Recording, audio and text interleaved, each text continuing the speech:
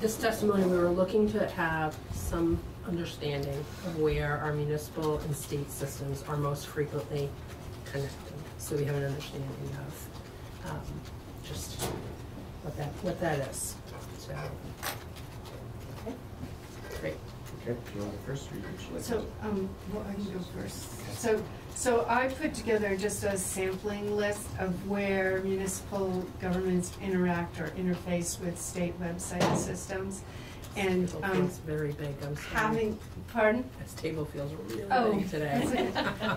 So, um, but John did basically the same thing and has a far more complete list. Okay. So we might want to go through the details with reference to, um, commissioner's list. I shouldn't call you John, sorry, the commissioner.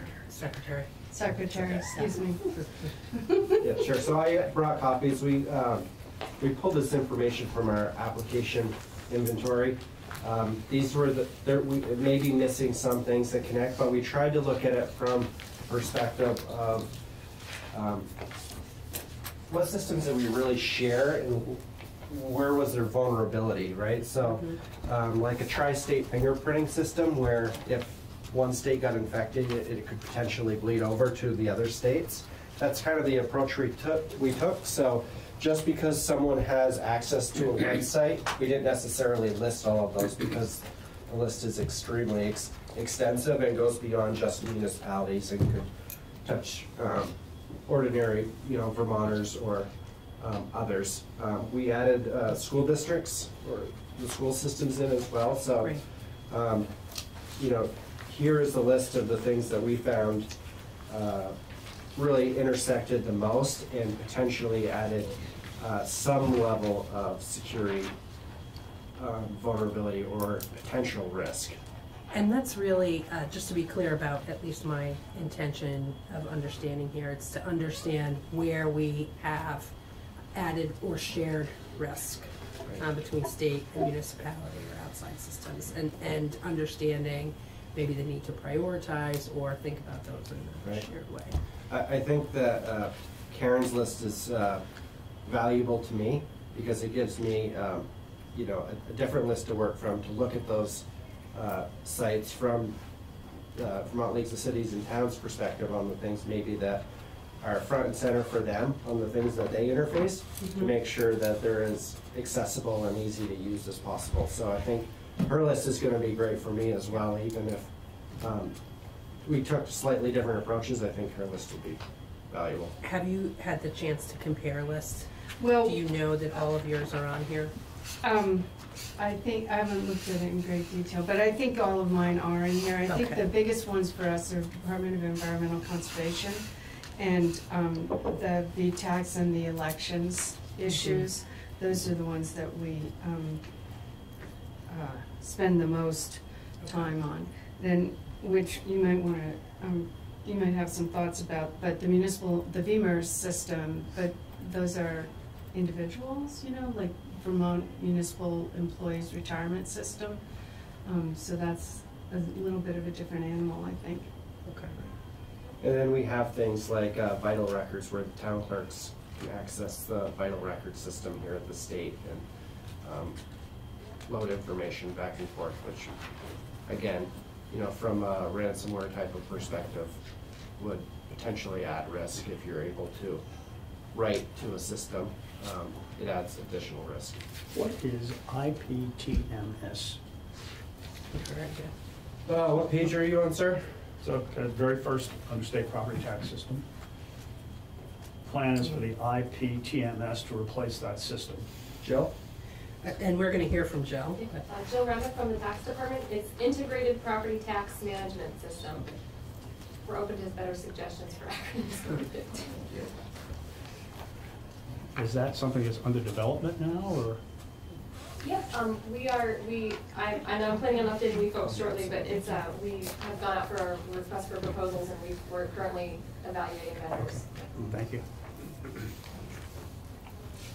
So As you can, as you can see from the list, I mean, it's several pages, but um, state and, state government and local government intersect in- in many different areas. I, I So- focused on the main um, Okay. eight agencies and how they connect. Okay.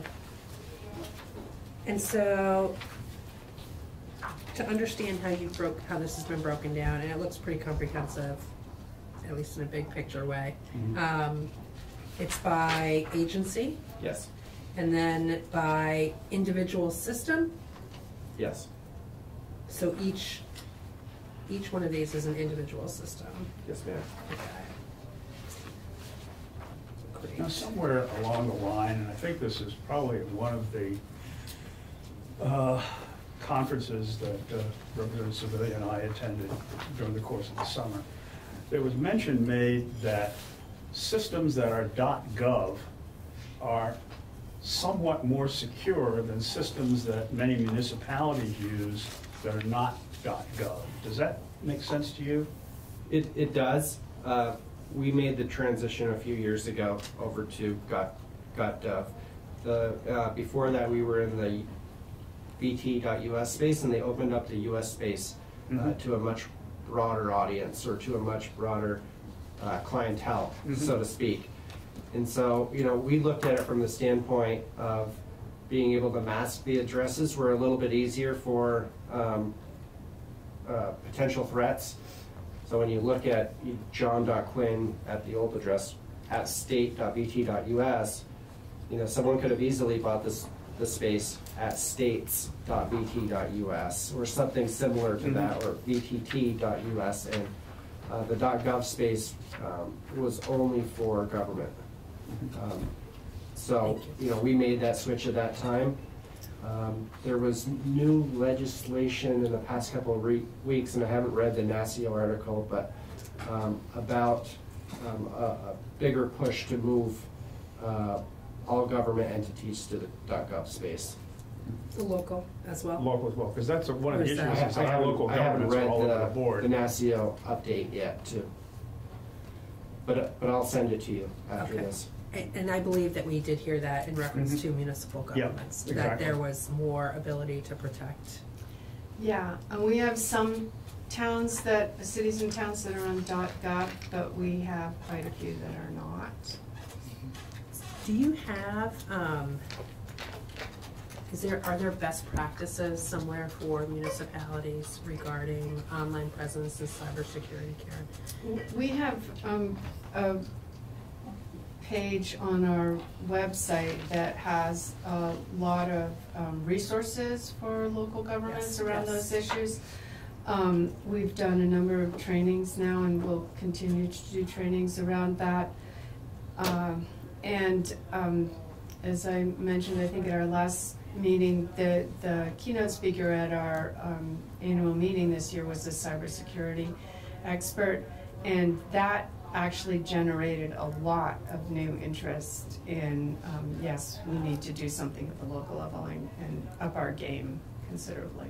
Also, we've had some, um, it's not ransomware, but the Norwich situation where there was a, um, email sent presumably from the town manager and funds transferred that also raised people's awareness considerably, unfortunately, so.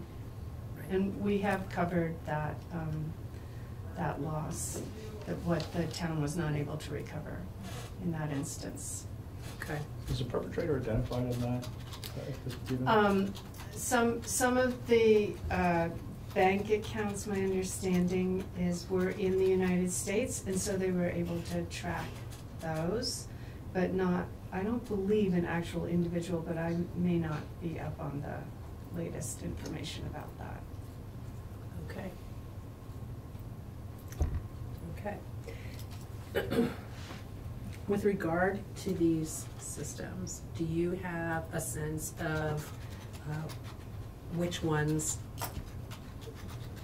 which ones are most often used, like the volume of use? I wasn't volume of able to pull access? that together in a short period of time. Okay. Um, But would you, is that something that you would, We, that you would know? You'd be able to? we would be able to track most of that information, yeah. And similarly, um, um, are these ranked in any kind of order in terms of? No. Um, okay, so other questions I have are, um, is there any, uh, are, I'm sure that there are some that are, that, that, uh, potentially have a much bigger, like, a a hack into those systems would provide, would be a much bigger impact. A breach of those systems would be a much bigger impact than others. Potentially, yep. Okay, and so would, is that something that you would be able to share with us in the executive session? Um, yes, Okay, and are, Yeah. would you be prepared to do that today, or would that be No. something you'd need to compile? yeah, we would need to Okay. compile that. I mean, there's, there's a lot that goes into, you know, the risk assessment, or, Yeah. you know, the- to, to look at not only how many people access it, but age of system and, um, you know, potential vulnerabilities and Yeah. overall network. There's, there's a lot to go through there. Okay, Well, I guess the issue is one of how, when you have an inventory this large, how do you prioritize what you do? Right. And almost to the extent of adding another column and on the basis of your assessment to summarize it in terms of red, green, and yellow. Right. uh, So that you know those things that pose a significant risk to at least point it out to us at, at this level without necessarily going into each and every painful detail. Yep. Yep, we can, we can certainly uh, do something like that. Um, For us, you know, right now, having close to fourteen hundred different applications out there, you know, we're we're focused on the, in order to close, you know, what, what we've been talking about as the five-year gap, the trajectory of expenses to revenue coming into the state, one of the biggest ways ADS can help is to be able to uh, reduce the number of overall systems, which reduces the manpower that we need, and builds capacity to do projects better. Um, And so we've picked certain platforms, whether it be in the uh, human resources and financial space and being able to look across the enterprise and look at, you know, the, the ten or twelve grants management systems and, you know, the three different or five different or seven different uh, financial systems that we have out there and focus on a platform that they can all go into. So bucket-like systems. One of those areas is uh, case management. As you can imagine, the state does a lot of uh, case management type of stuff, uh, constituent management type of stuff. I think we've identified like hundred and seventy-five just at Human Services, different processes and um, applications that do case management. So we're focused on building those into buckets, uh, building those into certain platforms like a Salesforce platform where, you know, we can turn applications around and modernize them in eight to twelve weeks for a lot of the applications rather than doing an RFP that takes twelve to eighteen months,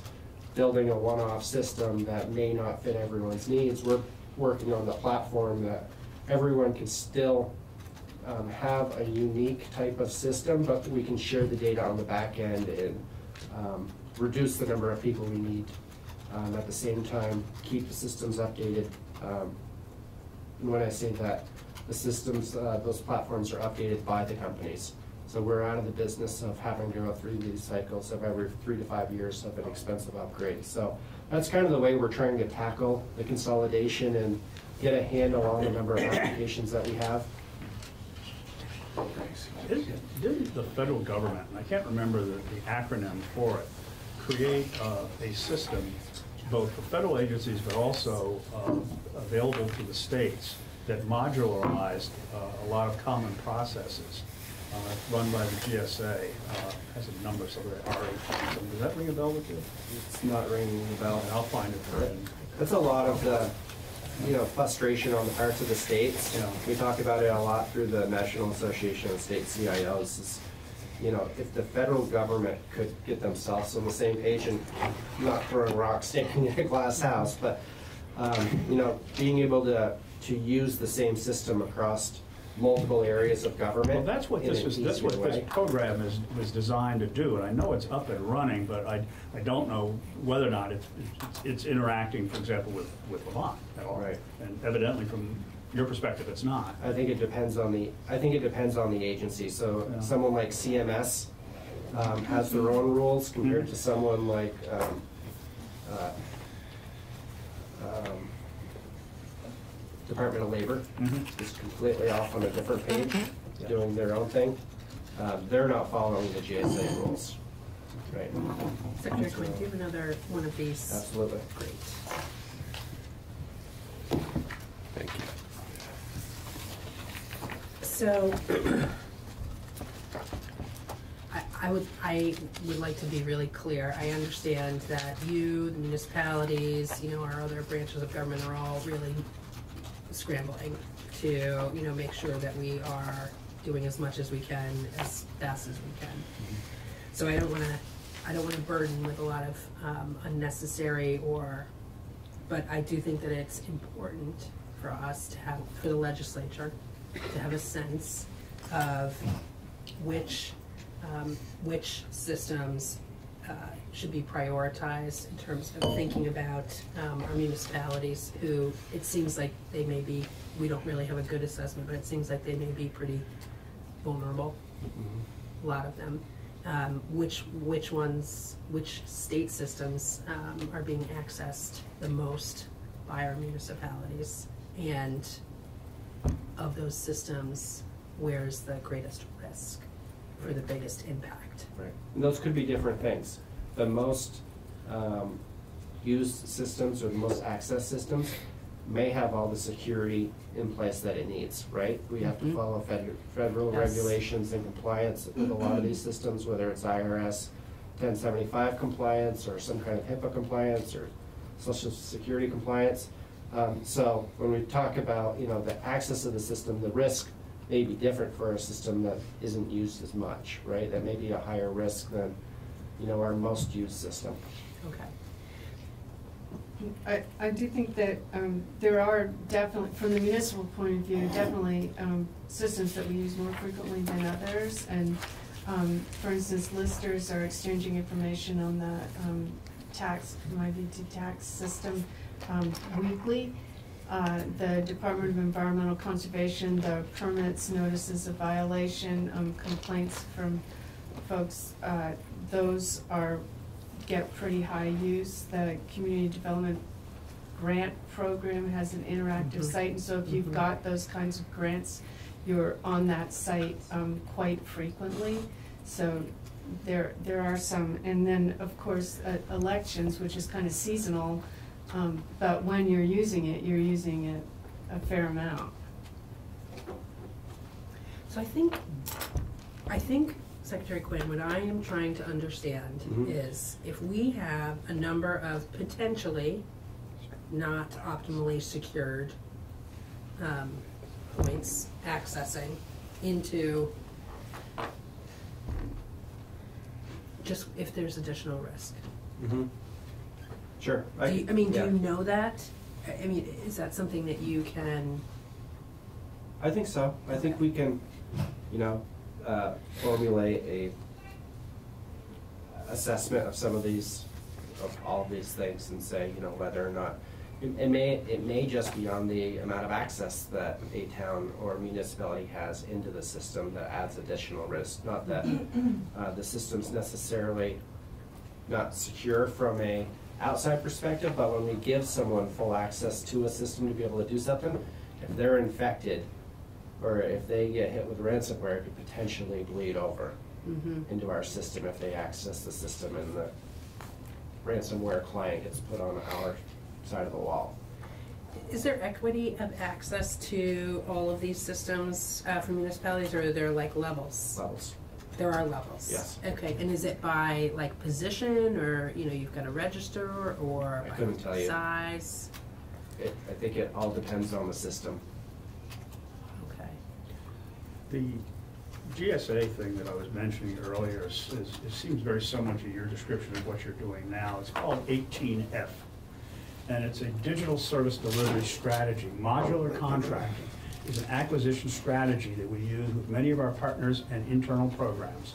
With modular contracting, we break up large, complex systems into multiple tightly scoped procurements to impact technology systems in successive interoperable uh, increments. And they have, at, at this stage, a, uh, a, a service, uh, some descriptions and. We use them. Standards, so that, that is, is what, that is something that you're. We're using them on the inter- integrated eligibility Okay. project. Um, And they've helped considerably in the procurement space. Okay. That, that's where they've been really um, a positive uh, force for state government, helping us reduce the amount of time it takes to go to contract and building smaller modular deliverables for different projects.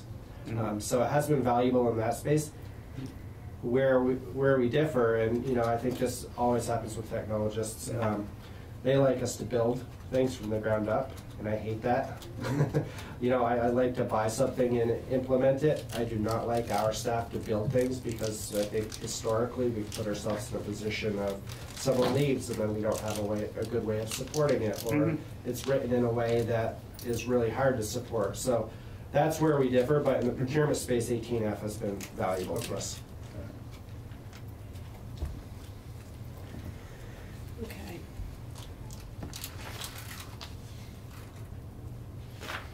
These are mo- This more, actually, than I, I thought.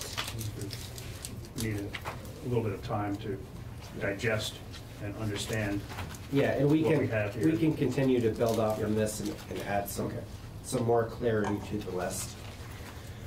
What do you think that we should be concerned about with this list?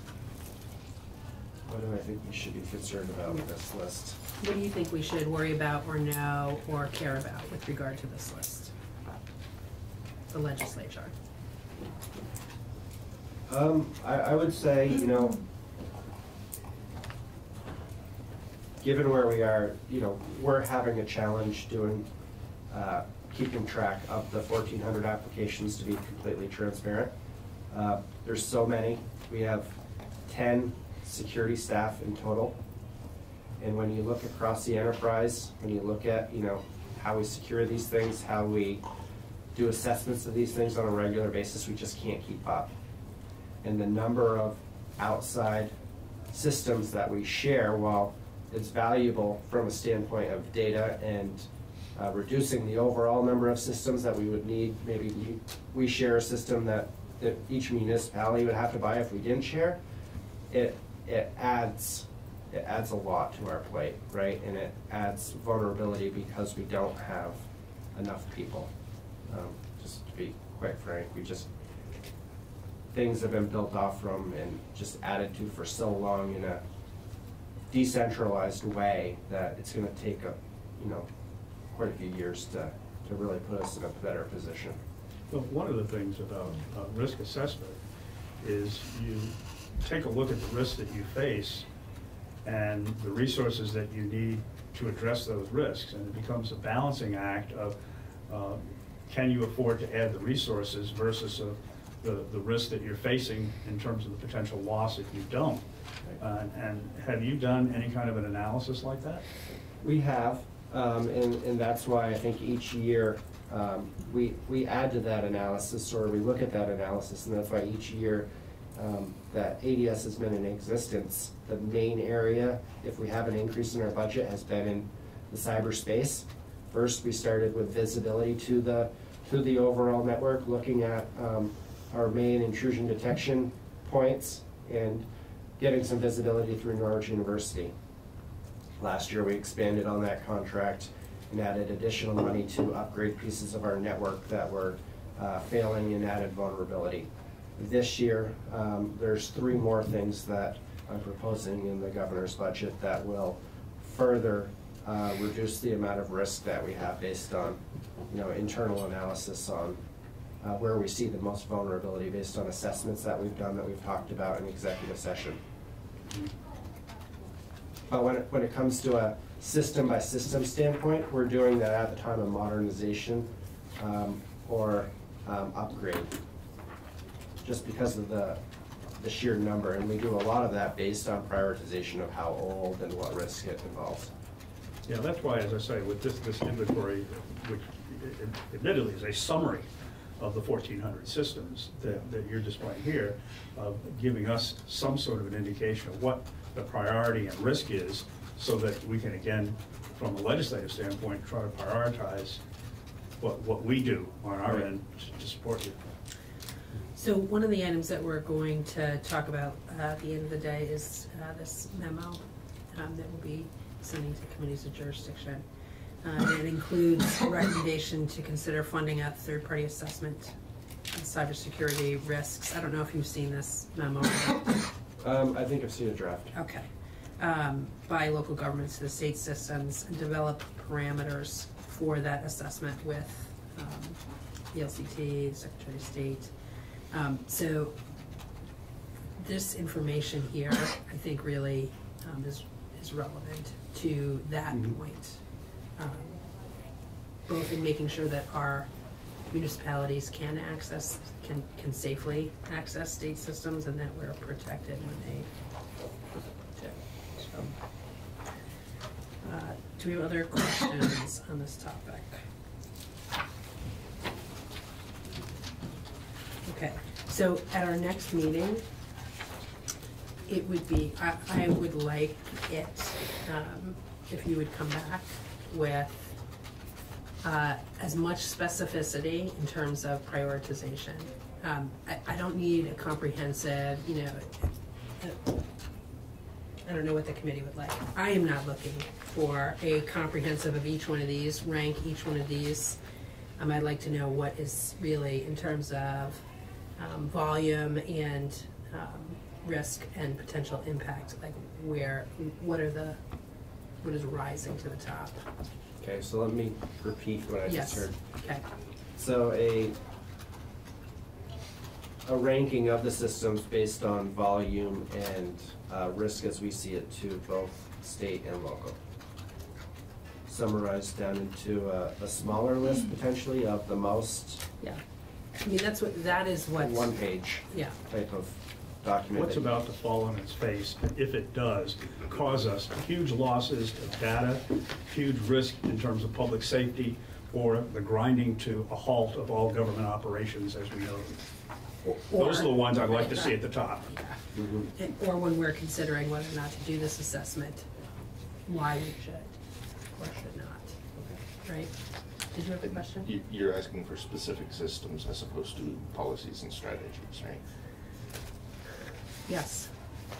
Yes, and so if that is something that, um, I, and I would like as much specificity as possible, and so if, if possible, so if that needs to be an executive session, then if, if not, would be better, but, did you have a question, Senator Pearson? No, okay. Good. Great.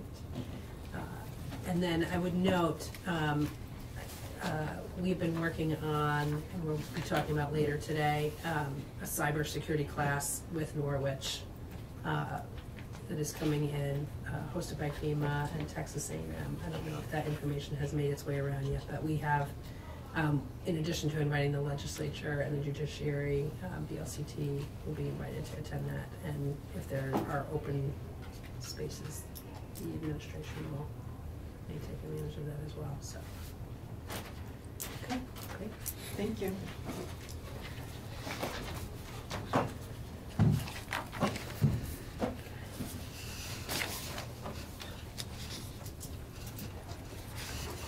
Jill, are you ready? Yes.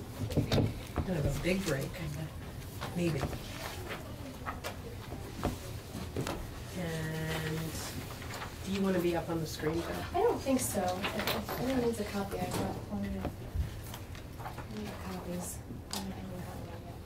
Thank you.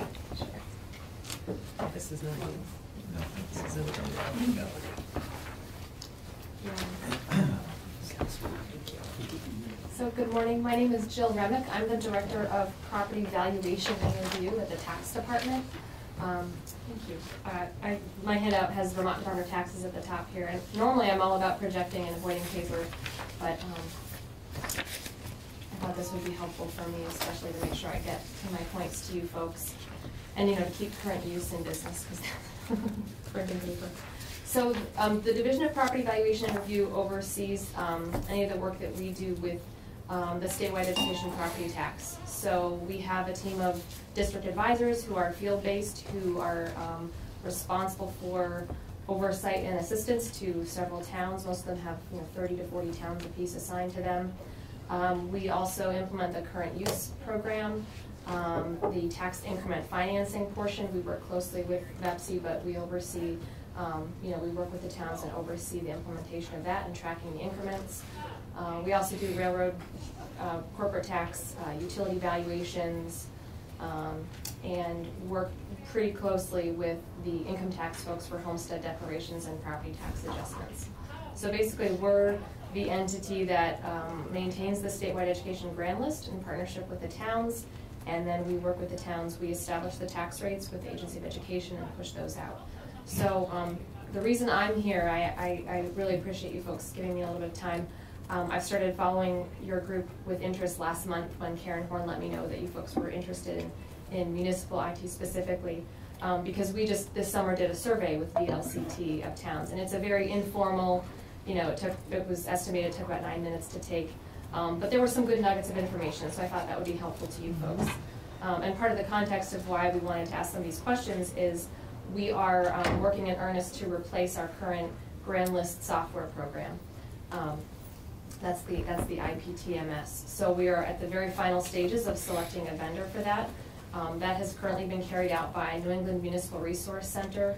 Um, since, basically since Act sixty and Act sixty-eight passed, that's the system that we've had in place, and it's, um, it's pretty outdated, it's pretty cumbersome to implement, you know, as, as Secretary Quinn has on his list, you know, there's file, manual file transfers that have to happen on a daily basis to get that information back and forth.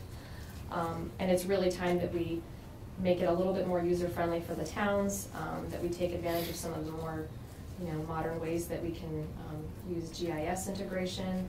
Um, and also, last year, there was some, uh, negative press that NEMRC, New England Municipal Resource Center, got regarding their software, um, or what municipalities use for things like payroll and human resources. So while it wasn't the component that we were contracted with them to do, obviously it's the same entity, and that caused a great deal of concern. And that just sort of helped reinforce what we were already working on, which is working to really move us off of this very old platform that's very manual and very vulnerable into something much more modern, so it's a little bit easier for towns to use. So that's why I thought this would just be helpful information for you folks to know.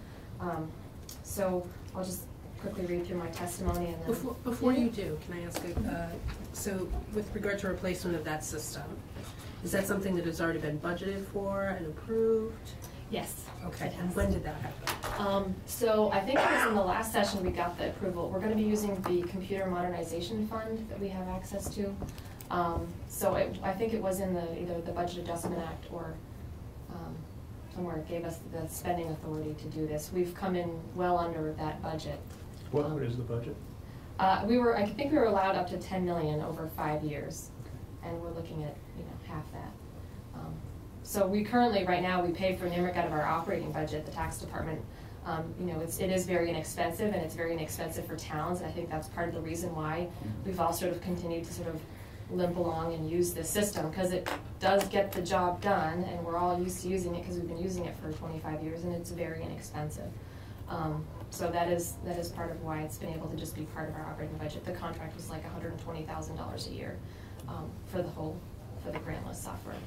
So now we'll be looking at spending, um, more than that per year, but, but over time, I think the gains in time and safety are well Mhm. worth it. Um, so, Could I just add, I'm sorry, Sure. well, maybe I'll, I'll let you get through it and then maybe you'll answer my Okay. question anyway. I, and I normally try not to read off my paper, but I wanted to make sure I made these points to folks, I wanted to make it worth your time. Um, so just thank you for the opportunity to update you on this recent survey we did in partnership with the League of Cities and Towns. Like I said, this was really to collect data on the current state. Um, we really hadn't done any sort of comprehensive, um, survey, um, and we really just wanted to get a handle on, you know, especially from our, you know, perspective, we wanna make sure that whatever system we use, towns are gonna be able to open up and use it on their end. Um, Towns do get an annual appropriation for the grand list maintenance, uh, reappraisals, and participating in equalization studies, so there is a per parcel payment that all the towns get, um, to carry out this work. Um, it hasn't changed, that figure is in statute, it's like a dollar per parcel for one of them, and I think eight fifty per parcel for the others, so, um, I think there's, you know, that's a possible place where we could maybe try to bring that up to today's dollars and try to get towns a little bit more funding, but that is not the position of the Department of the Administration, but that's my, you know, that's one of the things I've been trying to tout, um, that we'll be talking about, because those figures have not changed, so I think, you know, what they were asked to do thirty years ago and what the money paid for versus what towns are asked to do now is, is pretty significantly different. Um, so, you know, uh, we did learn a lot about access to internet speed and IT security, and obviously, um, what software and hardware that towns use varies a great deal. Um, like I said, we're embarking on this much-needed upgrade for our Grand List software system, which is used by the state and each municipality to state, carry out the statewide education property tax system. So it was really important that we assess where our towns are at with regards to IT. But also, just as important, that we select a system that can meet the towns where they are and is able to support the towns and provide um, the training and um, access that, that they need um, with some of the very limited resources and um, bandwidth that towns have. Um, VLCT has definitely been a proponent of this and agreed and, and helped work with our staff to design a sixteen question survey. It's very informal, like I said, I've got that, the original questions attached to the back of this um, testimony. Um, it was estimated it would take about nine minutes and it was distributed this summer. Um, it had basically four key components that it covered, internet service, internet speed, financial systems, and the grand list maintenance.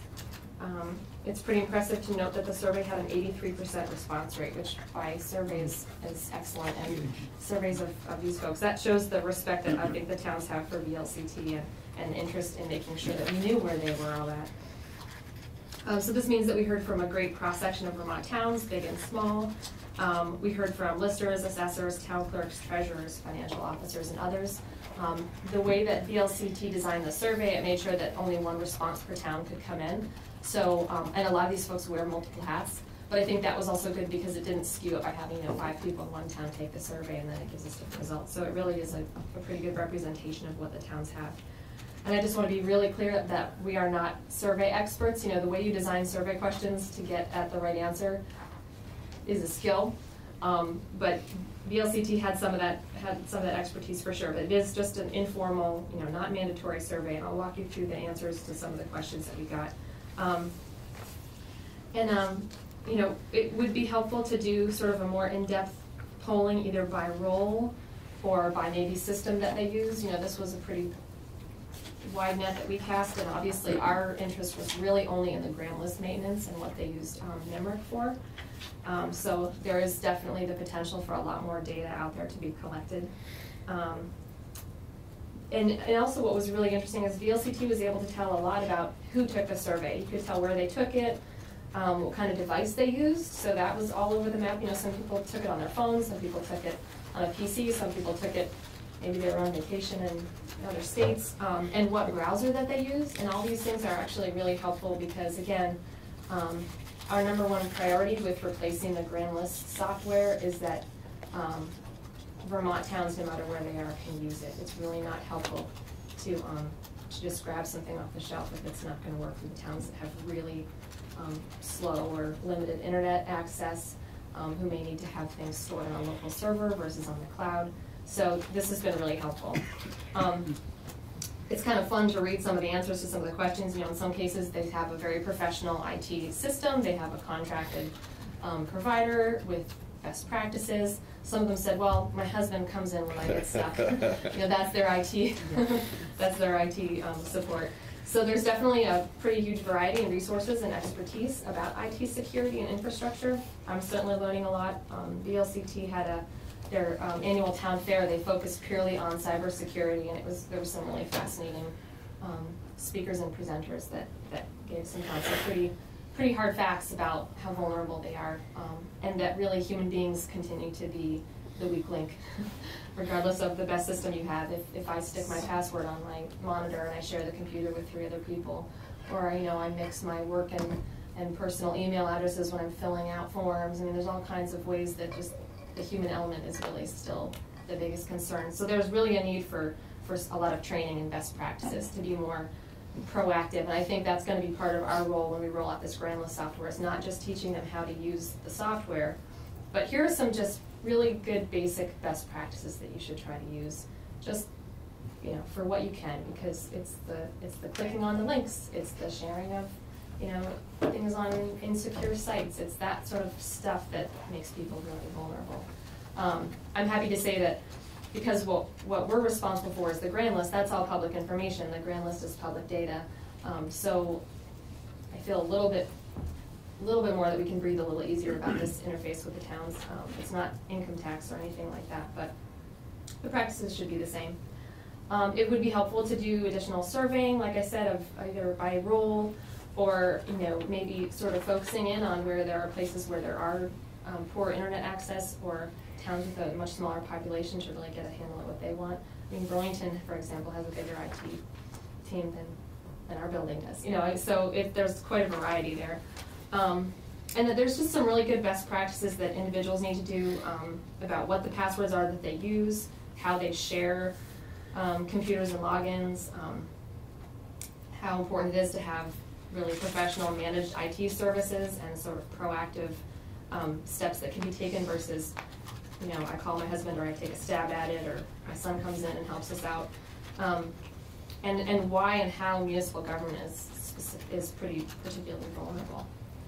Um, So the, the information we got from the survey was helpful. We also did a listening tour this spring where we actually went around to, um, we had folks from all fourteen counties. We did eleven, um, meetings where we asked clerks, treasurers, listers, everyone to come in and just tell us, um, you know, what's working with the Grand List software, what's not working, um, what they're afraid we're gonna mess up, tell it to us now, and also what, what they've seen or what they think could be better and what their hopes were for that. Um, and so combining with actually getting out there in the field and talking with them about some of the, the problems that they face with the current system, um, and then finding out more and more about um, the need for these sort of better practices in IT services at the local level. It's helped us really focus in on the fact that the vendor that we choose really is gonna have to be um, in Vermont and supporting towns and helping us get them educated. We're not gonna get more staff in the tax department to do this. Um, Our district advisors, there's eight of them that cover the state. Um, But on top of everything else that they, they do, they'll be out there being sort of the front lines, but we really need support to help towns get off on the right foot. This is gonna be a pretty major change. So Pearson. Um, This is fascinating and uh, and sort of heartening in a sense. I, I'm curious, how does the municipal property tax side of the equation, which is, I'm assuming a little more still based in municipal computer systems, and, and I guess I, w- I would like to understand how that works and if it relates to the new system and then sort of part of that question also is income sensitivity, which starts to get at some more vulnerable personal data. So I don't know if I'm articulating this well, but could you just, just discuss that a little bit? to the extent Yeah, and I'm, I, i've learned quite a bit about the, it, there's a lot of ins and outs, and like I said, because this system has been in place since Act sixty and Act sixty-eight passed, it's all very sort of conglomerated and Yeah. tied together.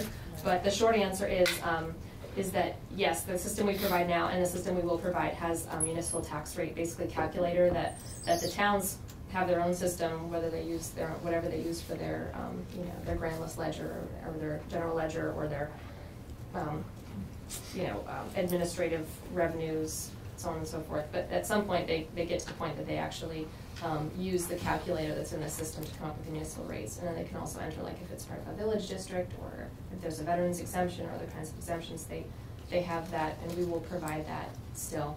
Um, And then Does- basically. Does that mean that that's all housed or gonna be all housed at the, on the state system? Or is it duplicated, you know, for, for your system and also the municipal system?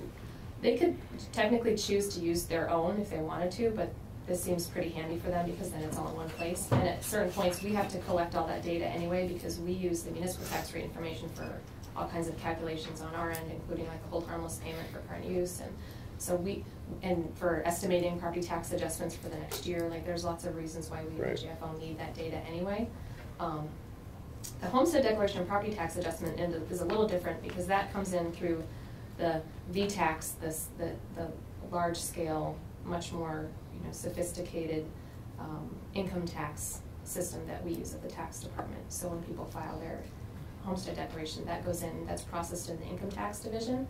But then it creates a file that right now is uploaded and then downloaded by the town for their particular, um, So they're merging those two data points? Yes. So, So, yes, sorry. I guess I'm, uh, under, I, I'm- I don't feel like I have the language in some level, but I guess the simple way I think of it is the state system, we have a better shot at a secure system in our central system, given the staff, resources, and expertise, which is not to say it's flawless, I understand that.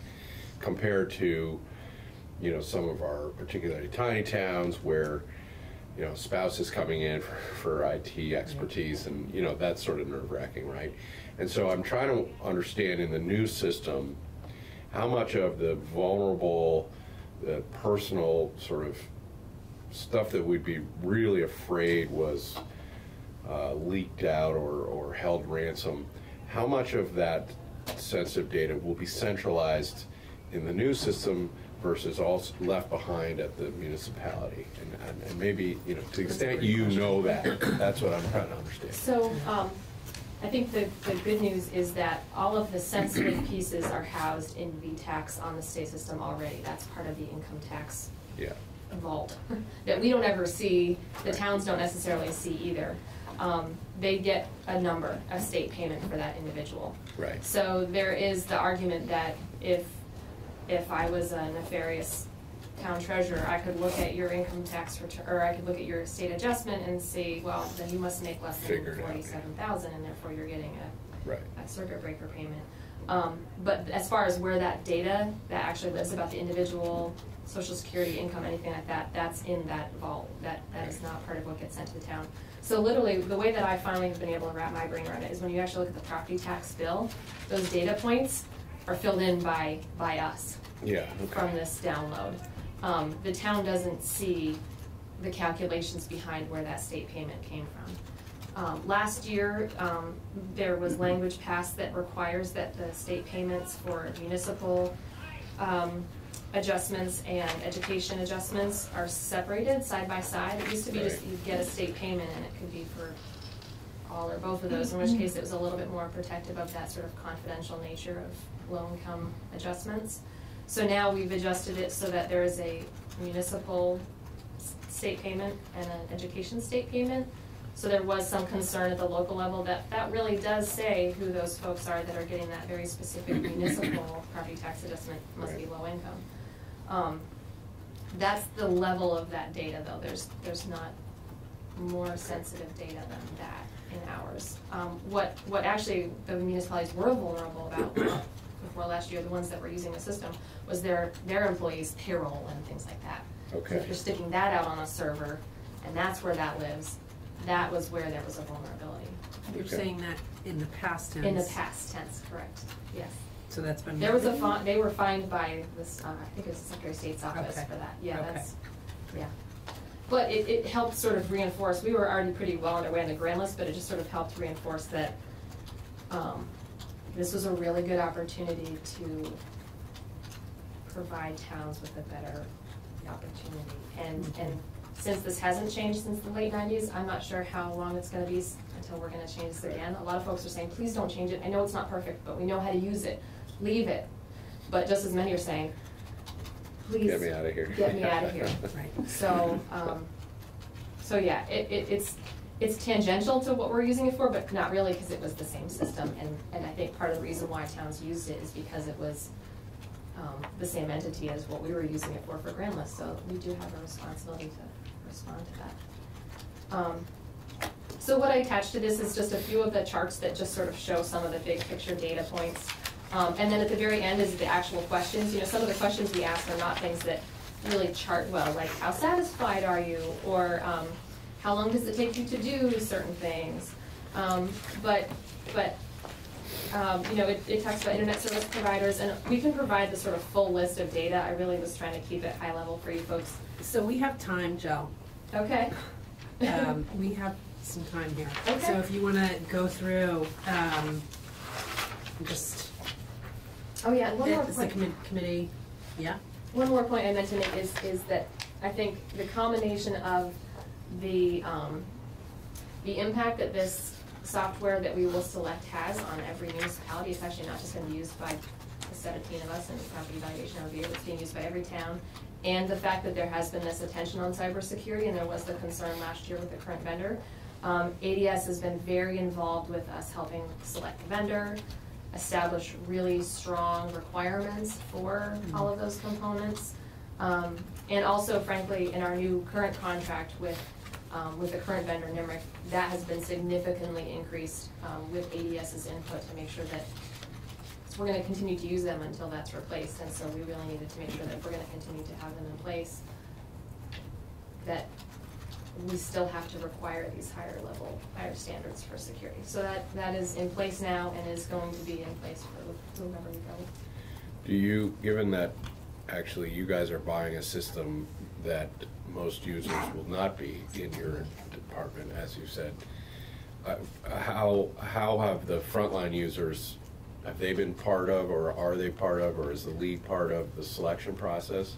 I mean, I I cringe to think that we'll get a system that you guys think is fantastic and then municipalities know our number, they will, they will, you know, and, and any of those changes is tricky, inevitable. but, but, Yeah, uh, so we've been, it's an we've been unusual doing a dynamic. pretty heavy roadshow. We've, Yeah. we've gone to every conference that will have us, every, Okay. you know, we did do the listening tour, we also, you know, we have a monthly letter that goes out to towns and we had a, um, you know, if you can't come to the listening tour, here's what we're asking, we want your feedback.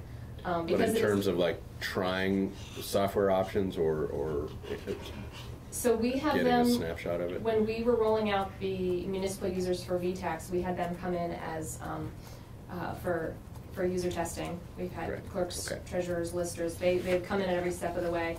Um, we actually did have, um, representatives from VALA, which is the Vermont Assessors and Listers Association, and VLCT, um, sit in on the demonstrations for the vendors, so they've had a pretty, you know, they've had, and that was definitely with the goal of having their input in mind. Um, I go to every VALA meeting and talk about it. Um, like I said, we did the listening tour, there's eight pages of sort of our summary of what we heard out there. Um, I think the very broad summary is that they are very anxious for something to get better. They know that it can be better, and they want it to be better. They are very concerned about the viability of the current vendor in providing the other services they use it for if they don't get our grand list software contract. And if that, by sort of, you know, hitting that domino, is that going to really cause a bigger problem? So whether or not we, the tax department, are responsible for what towns use for payroll and finances and things like that, the, the fact is, we're paying attention and wanna make sure that who we go with will, will be able to meet NEMRC where it is for all the other pieces, because it, that is, that is one of the big concerns. They know it can be better, they want it to be better, but they're worried about the ripple effect if, if we make that change. I don't know, Does that Karen mean- speak even more than I could, I'm sure, but. that NEMRC will continue to exist and continue to serve towns for services other than the property valuation piece. Absolutely, they do reappraisal services Yeah. for towns, they're kind of, they, that's a huge piece, and I have to be really clear, we haven't actually selected our vendor, so it could theoretically still be NEMRC that is selected as, as our, as our vendor. Um, and then they also provide, like I said, and I think that's part of what we asked in the survey, um, provide, they provide accounting, um, uh, billing and administration, so Mhm. towns have the choice of who they use for those pieces. But one of the questions was about, um, who they use for their financial services, and ninety percent use NEMRC. Yeah.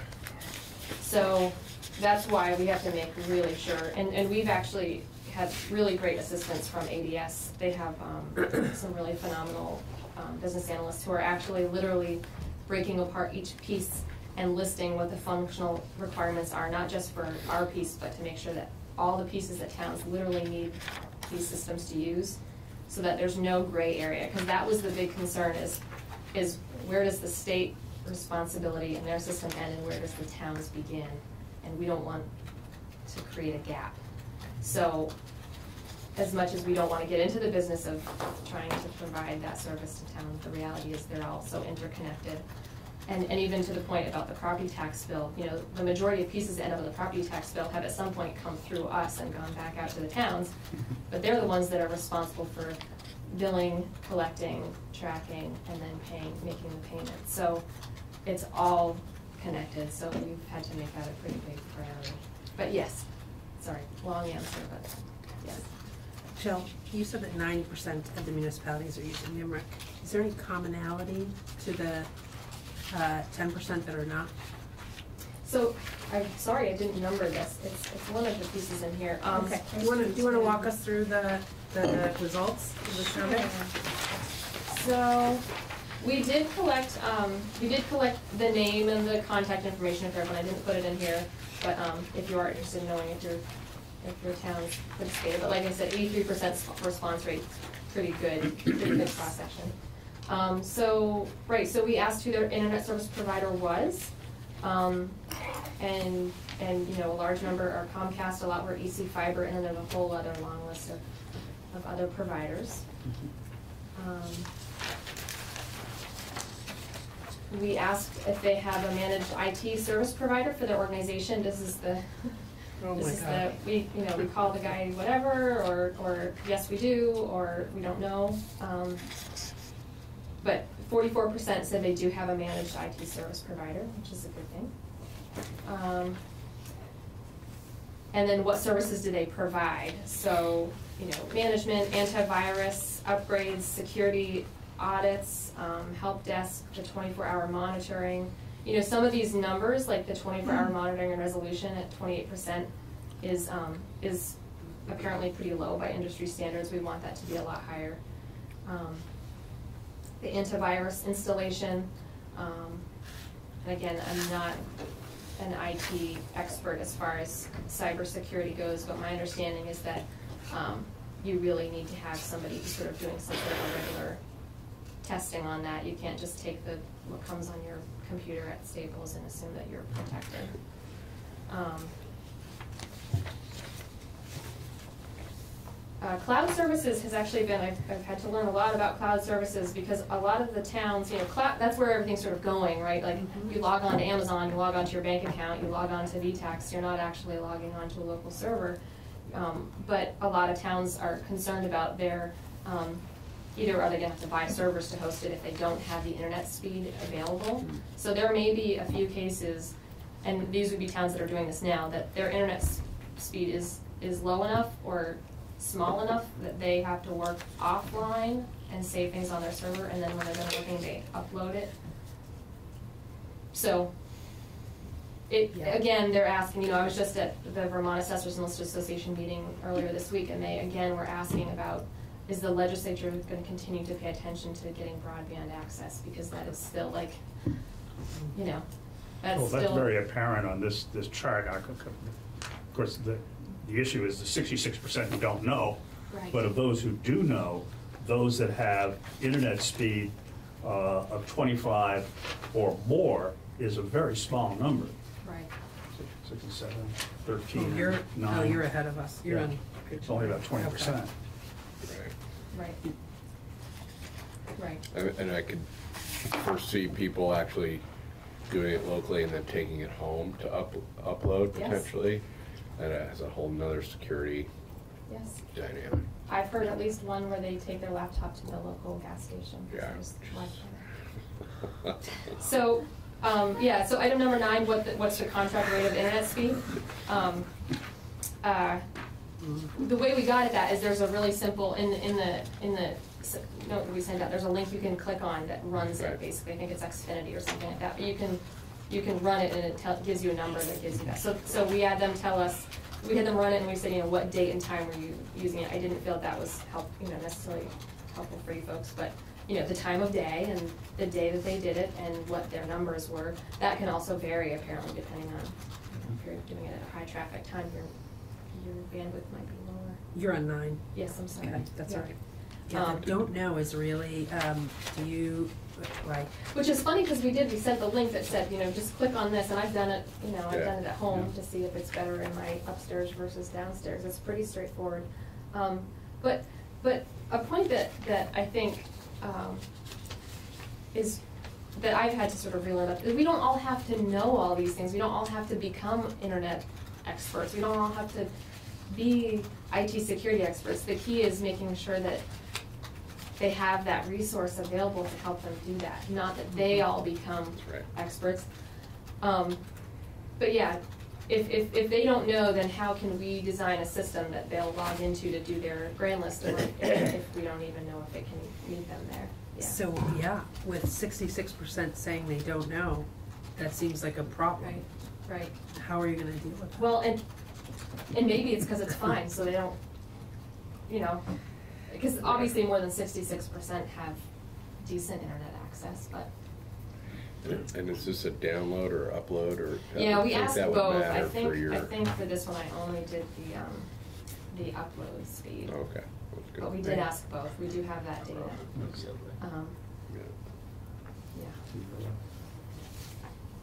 Um, so then, uh, six, what type of service provider do you use for these? Um, and this is, you know, getting back to, we have an IT department, some folks use the state of Vermont, um, plenty have a contractor or a professional managed service provider. Um, So those are good, but, um, it would be, it would be good to sort of, you know, the don't know, not available, internal support. Like I said, maybe some of the bigger towns and cities have very robust support and that's sufficient, but for a lot of places, it seems like they're, um, they're kind of relying on learning on the job or, or, um, trying to manage it themselves. I think it'd be kind of interesting to ask Secretary Quinn about these folks who the state of Vermont provides their computer security and IT. Yeah. Whether he knows that or not. Yeah, yeah, I was surprised to see that. Kind of skeptical, frankly. Um, oh, right, and then the contract rate of speed, again, maybe that's because they're not familiar with the contract, it also depends on who filled this out, you know, it could be that the, there was a financial manager in the town office, they, they know that.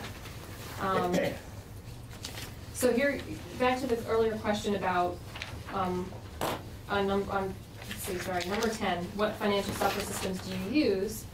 Um, so, so the vast majority do use NEMRC because right now that's the grand list software. We also host, um, NEMRC's CAMA software, which is how the towns actually, the town lister actually enters the data from the field and comes up with values for the property, so that's actually sort of the appraisal side of things.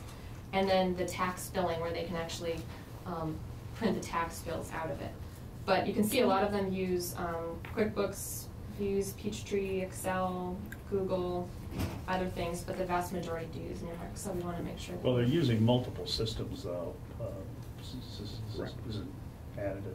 Right, and I think Peachtree might be human resources specific or something like that, or payroll. Um, So like I said, there's, there's room for more in-depth questions if What's we the- want to.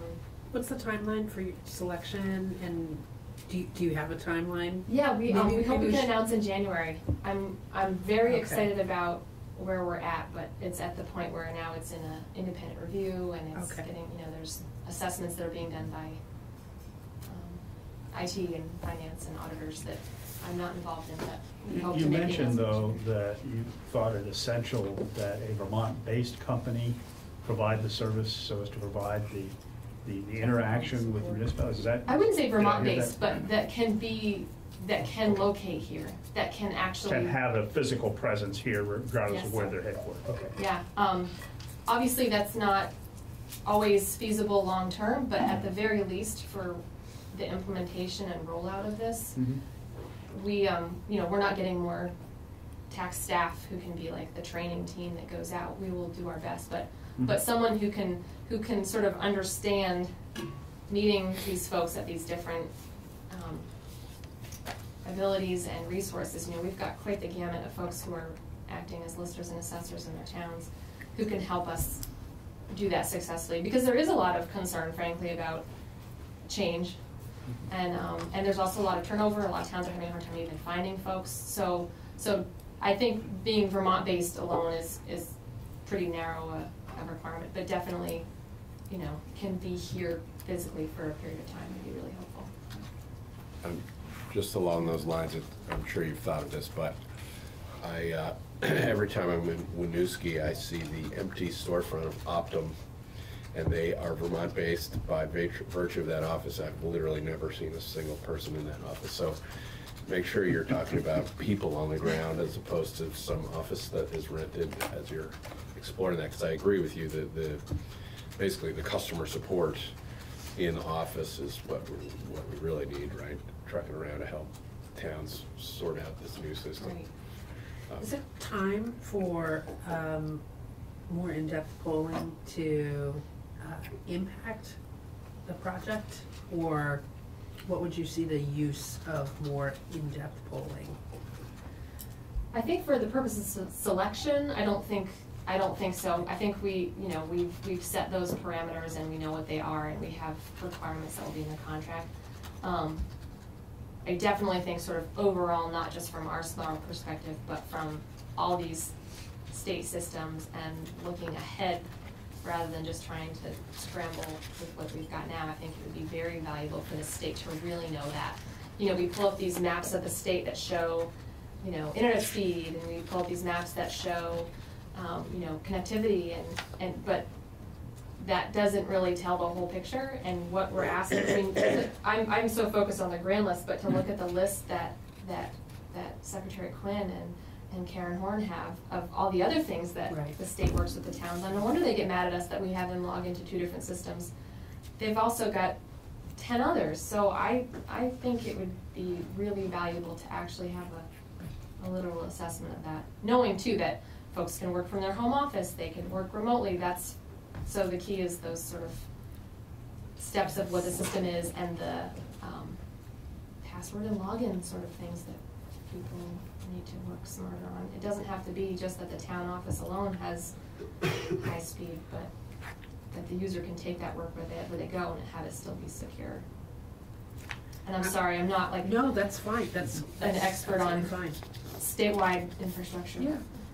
I'm, I'm gonna ask Karen, um, if you, that same question, if you don't mind, um, you know, do you, like, right off the top of your head, uh, or can you, do you see a, a use for more in-depth polling?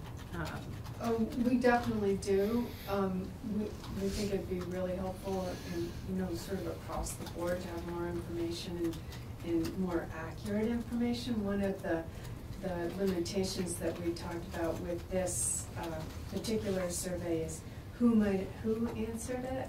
And so some folks have a lot more understanding of the whole systems than, than others at the local level.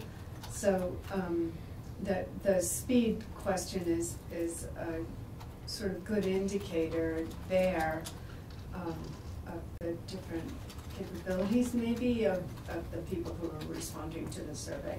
So, um, and we think also in order to sort of point out where our most significant vulnerabilities are, that we're gonna need to have a, a more, um, robust assessment that's gonna take money to your list of recommendations. Um, I, I think we cannot do that in-house VLCT. We, there would have to be a, um, you know, outside consultant that did that kind of survey.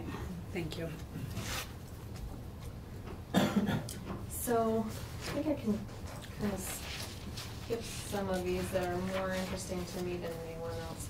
Um, but, um, you know, like number thirteen, if you're using that software, select the capabilities being used. So this is a great sort of representation of, um, the different things that towns are using that, that interact in some capacity with the grand list. Um, and then part of the reason why ninety-one percent use it for grand list and tax billing is because that's, the state provides that, that's our, they have to enter it into that, so. It should be hundred percent, but, um. It, it actually is a hundred It percent, actually right? is, a hundred. at some point, it has to come in there. Um, here's a great example of maybe we could ask the information differently on num- number four, and I apologize, Okay. you're out of order, gosh, sorry. Um, how is the grand list data initially recorded? So the grand list is that, you know, every town has their property card, that's, there's different, um, components, acreage, grade, um, number of, so on and so forth, that, that, they, the, the lister comes up with a value for the, for the, um, property. And, and, you know, how is it initially recorded manually? So manually, and then there's a bunch of other, manually could be handwriting it, but it also could be, I typed it on the computer, you know, so the way that question was worded, I think, didn't give us as much, because I think we were trying to get at is, like, I'm happy that thirteen percent said they used a laptop or tablet, that's helpful. But how about the rest of them? Are they writing it on a piece of paper and then bringing it in and someone's data entering it? Do they have a way to, you know, collect that data in the field so that, and save them some time? Right. Um, who maintains your grand list data, obviously the vast majority are the, um, the listers or assessors. Um, But you can see a lot of folks actually, you know, wear a lot of these hats, especially in the smaller towns. The smaller the town, the more hats that individual wears. Um, which is another reason why we've sort of tried to time our rollout of the software not to coincide with fall of twenty twenty. Because the very first thing we heard from town clerks is, that's gonna be a crazy election year, and if you ask us to start using a different grand list software system and a different way to print property tax bills at the same time that we're managing, um, an election, then that will, we would appreciate it if you didn't. So, we will be spending this year building the new system, testing the new system. We have, um, several towns who have volunteered to be pilot towns for us, so they're actually gonna be like beta testers that will use the system months ahead of everyone else, so we can work out some of those kinks, and they volunteered to do that. Um, we, we said, hey, if you want to, and we continue to get towns that say they would like to be a pilot. So that, we would have that, um, but then the actual sort of flipping the switch from one system to the other wouldn't happen until twenty twenty-one. Are those pilot towns varying in size and geography? Yeah, yep, yeah, I would Great. say so. Um, it's, like I said, it's voluntary, but yeah, there's a, there's a good mix. Um, Great. And also not just, you know, the central part of the state either, they're all over the place, but Good. yeah. So, um, I think that's a good way to do it instead of mandating or saying, hey, all the towns that start with A, you get to be our Test guinea pigs. Right. Um, the last chart, uh, the, when was your last reappraisal? I realize is a little tangential to this conversation, but, um, I'm glad we asked it because it also shows, um, how old the grand list is getting. And I think our systems in some ways are keeping us from getting some of this stuff done. It's a lot of work.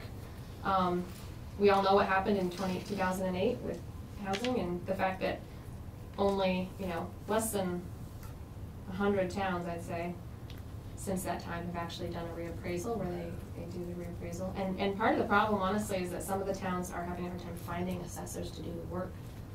Um, finding appraisal companies who can do townwide appraisals. And it's especially hard for a smaller town because if you're getting paid by parcel, why would you wanna bother coming into a town? So it, towns are having a hard time finding professional appraisers to come in and do their reappraisals, even when they're ordered by us because their CLA has gotten so low. Um, So if we could have more robust software where we could do some sort of statistical appraisal, or we could be much more clear with the town about what's happening with their values, and we could actually audit what's happening with their values a little bit better. So we could, and maybe, maybe some of those companies would be willing to come here if we had a system that they knew and could use and knew that it was a little more up to date. So, totally not really connected to anything except for my interest in the education property tax. Uh, that, um, significant amount of reappraisals that haven't been done since two thousand and eight, the effect of that would most likely be, uh, CLAs over a hundred. Mhm. Yeah, okay. And in this past session, um, you folks passed uh, a, a slightly different window. It used to be if it was eighty percent or below, we would require a re- a reappraisal. Now it's if it's between eighty-five, or below eighty-five or above one fifteen. So now for those ones that are on either end of that sort of extreme, where their property values have changed one way or the other, we can we can require a reappraisal. Um, so we will have more towns that are getting sort of flagged for being under required reappraisal. They can do their own at any time. Um, but it's still, we still have to make sure that there are folks out there to help towns do that work.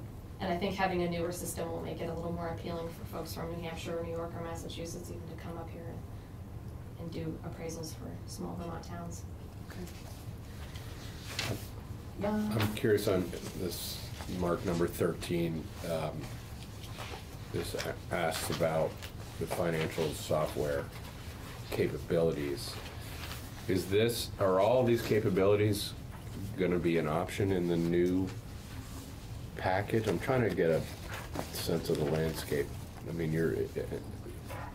We are really trying to not take ownership of the things that we are not responsible for, because, um, towns have absolute freedom to use whomever they want for all of this stuff, except for the grand list. Um, this was helpful for us to know because we do have to make sure, especially for the tax admin, um, and tax billing, that what we go with can talk to all those different systems. we don't need to know about accounts payable, accounts receivable, their HR benefits, their purchasing and things like that. But our system has to talk to their system that does this, and so that's why that was helpful for us to ask. um,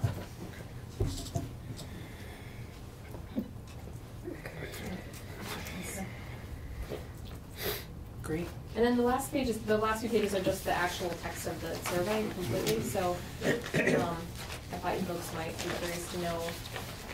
Um, and I think there were some questions, obviously, you know, we actually did collect a lot more data in some of those questions, like we actually got the names of all the different providers. We have by town, the internet speed, as people reported it. Um, we asked them how much they paid for what they used, um, which was helpful in some ways, you know, it ranged quite a bit. Um, you know, from like four hundred dollars a year to five thousand dollars a year, I think is what it was, but that's all broken out. Um, And then we asked things like, how long does it take to, to enter things in the system? Which is also one of those, like, I wish we, I don't know how to get at what we're trying to get at, but it was, they were like, what are you talking about, it takes forever, depends on the, depends on the property. Forever. Yeah, it takes a really long time. So, um, you know, qualitative versus quantitative Yeah. data. Right, But, um, but I just, I hope that was helpful and I'm happy to, I'm gonna continue to come and listen in on what you folks are up to because I do think there's a pretty strong connection between what, you know, our work and working with the towns and it's definitely felt a lot more sort of successful and positive when we're approaching it as a partnership and as a, we're all in this together rather than just saying, well, we know, because we could, we could grab all kinds of systems for the, our end of the grand list software, we could just, you know, it's, it's a database, It's basically what it is. But that's not gonna cut it, we need to provide that to the towns too, so. Uh, Jill, how is the project funded, the site? Is it Um, capital funds, is it It's general funds? computer modernization fund. Oh, that's right, you said that. And I think, I think it is a administrative holdback from the property transfer tax return, maybe. It's, it's a fund that the state has for infrastructure investments in IT. Um, I know that there's, uh, there's something related to current use that I think might also feed into the computer modernization fund. Oh, I'm sorry, we're talking about your agenda. I, I, Uh, commu- computer modernization fund, I was Yes, asking that's where a this tax, It's a project. tax Tax department. yeah. Okay, so It's that's not capital, so. No, they, yeah, that's their own thing, and they've actually, anyway, they're adjusting the percentage that they keep down also, so. Say that again? Um, they collect some money and they keep a percentage of it, and they're actually changing that percentage. It's part of the budget discussion and part of the joint fiscal discussion that's been coming up there. Okay, okay. And which committee, um, if any, did you, did this, uh, looked at this, um, this project? Um, a little bit the GovOps committee. GovOps. I mean, generally, we're in Ways and Means a lot, but, um, I think GovOps was where they were interested in this. And it, you know, it, it's almost more sort of, uh, just to provide you guys some color and context, I'm not sure, you know, the action, but people will be act, contacting you regardless of who we select there. Right. We, we really want it to be successful and, and live that. Okay. Great. Do we have any other questions Well, I, on this? I guess I'm just still trying to understand the, the, uh, the NEMRC, that, that's what people use for payroll, is that what you said? They can, they have the choice, they can use them or something else. Uh, But they are using, lot of them. ninety percent are using it, and that's part of the current package, and so is a payroll feature gonna be part of the new, I, I'm trying to, I, I just, this is the theme for me, is that I continue to believe we have a better shot at, uh, our, uh, security and that we should try to make it as easy as possible for town, so I'm, I'm trying to understand it's been very thoughtful, the process you're going for, but as you've said, you have a narrow slice of the universe that you're considering. So I'm trying to understand, are we inadvertently punting them off of a system that a lot of them are using because our package is, gon- the new package is gonna be more narrow? Right. So the short answer is no. We only contract with NEMRC for the Grand List software and the CAMA, the Computer Assisted Mass Appraisal software. The thing is that they have a menu of services that the towns use, and so a lot of them go, yep, NEMRC, we're gonna use that for They, payroll, they HR. add that on if you, would- if you Right. like, okay. So I don't think that, I don't know if, because of the virtue of the fact that we have the contract already, if they get some sort of a discounted rate, I don't know that answer. But we don't currently contract for those. Um, we don't want to, but the concern is there that the towns that use them for their whole suite of services, Right. is it gonna make it harder? Is now when we go to print property tax bills so that we can start to, you know, charge interest and penalties on folks that haven't made it, if, if, if it's not all in one system, is that gonna be a problem? So that's why we're trying to get at that piece of where, where our, ours needs to talk and hand it over to whatever system they use, whether it's NEMRC or Excel or QuickBooks or anything Right. else. But it's, that is one of the very real risks and realities of this change. I don't think it's necessarily for the worse, I think the, the benefits outweigh the, that impact, but it's going to require us to sort of reach on where we meet them, and it's gonna require the, the, whoever they use for their payroll to make sure that they're, you know. But, but payroll, for example, in HR, we don't, we don't want anything to do with that data, we don't need that data, that's not part of our bailiwick, but when it comes to printing property tax bills, that's where we need to make sure that we built the bridge to the right place. If that makes sense. Could we ask Karen the same, to Sure. comment on the same sort of dynamic? Like, are we worried that the upgrade now forces everybody to have two systems, or? Um, we think there'll definitely be some, uh, you know, dissatisfaction with the new system, but, um, Jill and the, and PVR's worked really closely with towns on it. They're, they're, they've done one of the more thorough processes that any state agency has done recently in, in, you know, working out this kind of system, so I, I think that, um, it may be the case that over the next few years, if a different vendor is selected for the grand list software, that you might see towns migrating their other, um, financial, you know, databases over to that system to be consistent. And because there are these security issues that are gonna continue coming up, and, um, whoever you've got handling those, those, those payrolls and things has to be up to date, and, and a new vendor might have much more to offer in that respect. Well, maybe that's the question then. Does the new vendor also, to your understanding, or are you watching to see if they have a They- commensurate suite of options that are not something you'll take advantage of, but the We went into that hoping we would find that sort of panacea. That has not really been the case. Okay. Property tax administration is so specific. I think part of frankly why NEMRC has it is because they saw the need in Vermont and it wasn't there and they knew that they, somebody needed it. But we were hoping that there would be Okay. a vet that we could say, oh, and we'll also negotiate a state contracted rate for these other services. That's, the, the folks who do this work, it's pretty tailored to this, because, you know, TIF and utilities, there's so many complexities to, um, property valuation and, and administration, but they, they don't seem to have the other. Okay. Thank you. That was wishful thinking.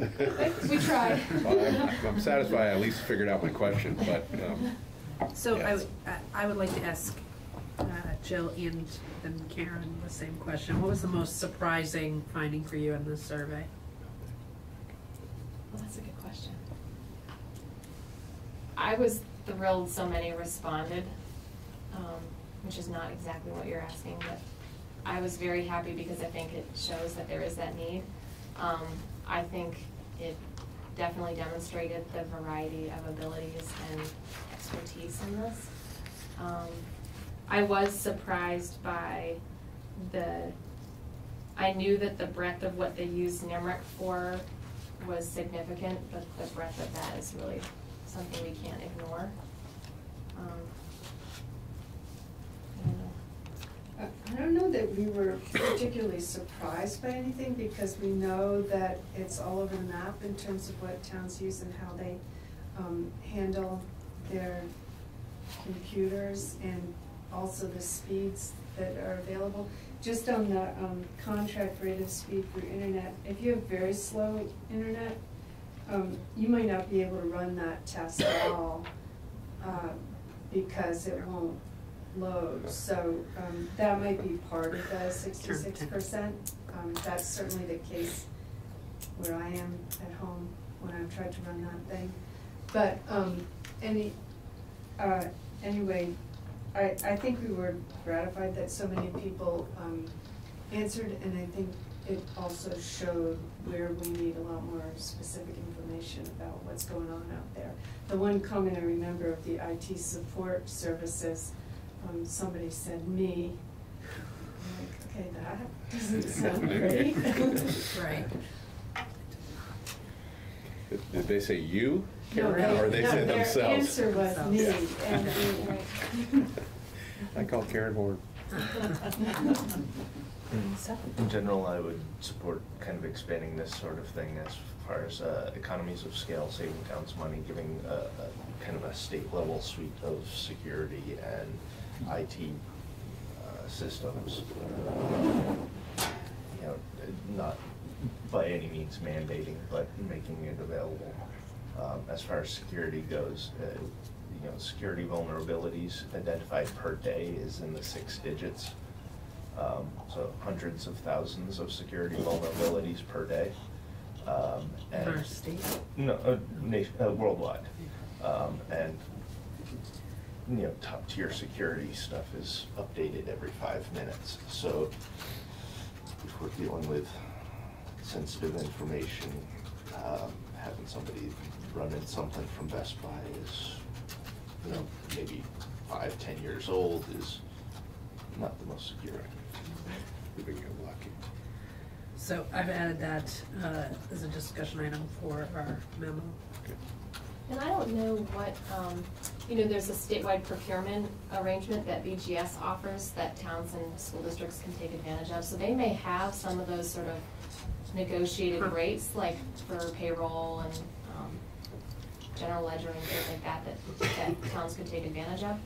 One of the other things that we've learned after going through this process is we want to host an annual, um, sort of showing all the different CAMA vendors, the computer assisted mass appraisal vendors, instead of leaving towns sort of on their own.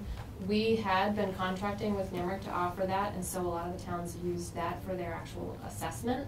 And so, um, there's definitely, but towns can use whomever they want for that, and a lot of them do use other, other software to come up with their actual values. So we could, we could host some sort of, we could negotiate a state rate that towns could take advantage of if they wanted to, and then host some sort of a way for them to sort of see their options. Why would that be, why would, why would the towns, help me understand, to be on their own on that piece? Why is it advantageous? Do you, Well, right now, right now, they, they can use whomever they want. Um, and so it just seemed like if we can, rather than letting them sort of negotiate with these vendors on their own, if we could get some sort of a state rate that they could take advantage of, maybe modeling it after that BGS procurement system, maybe that would be, because maybe part of the concern is if you're just a small town that knows you need an assessment software, where do you start? How do you find out how much it costs? Do you really want to get into negotiating a contract? Maybe the state could offer some sort of a, a pooled rate. Yeah, it know. seems like those things would go together, Well, that's, yeah. right? Yeah, okay. There is an argument to be made that we could require them to use the same system, and that's pretty much what other states do, but not all of them. I've heard the New Hampshire municipalities like it when we require them to do things. Oh, yeah. Karen's forever demanding. Uh, okay.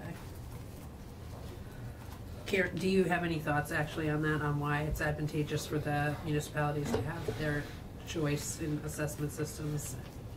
I'm sure I could bring you back some reasons, I don't have them Okay. off the top of my head. Okay. Great. Great. Do we have other questions on this topic? I do not. This was really uh, helpful. I'm so glad. Very Thank you for uh, having me. nice to know that this was done, so thank you for Thank you. bringing that in. And if I, I, I would love to uh, hear more about the project as it starts going in, so we look forward to. Okay. Thank you.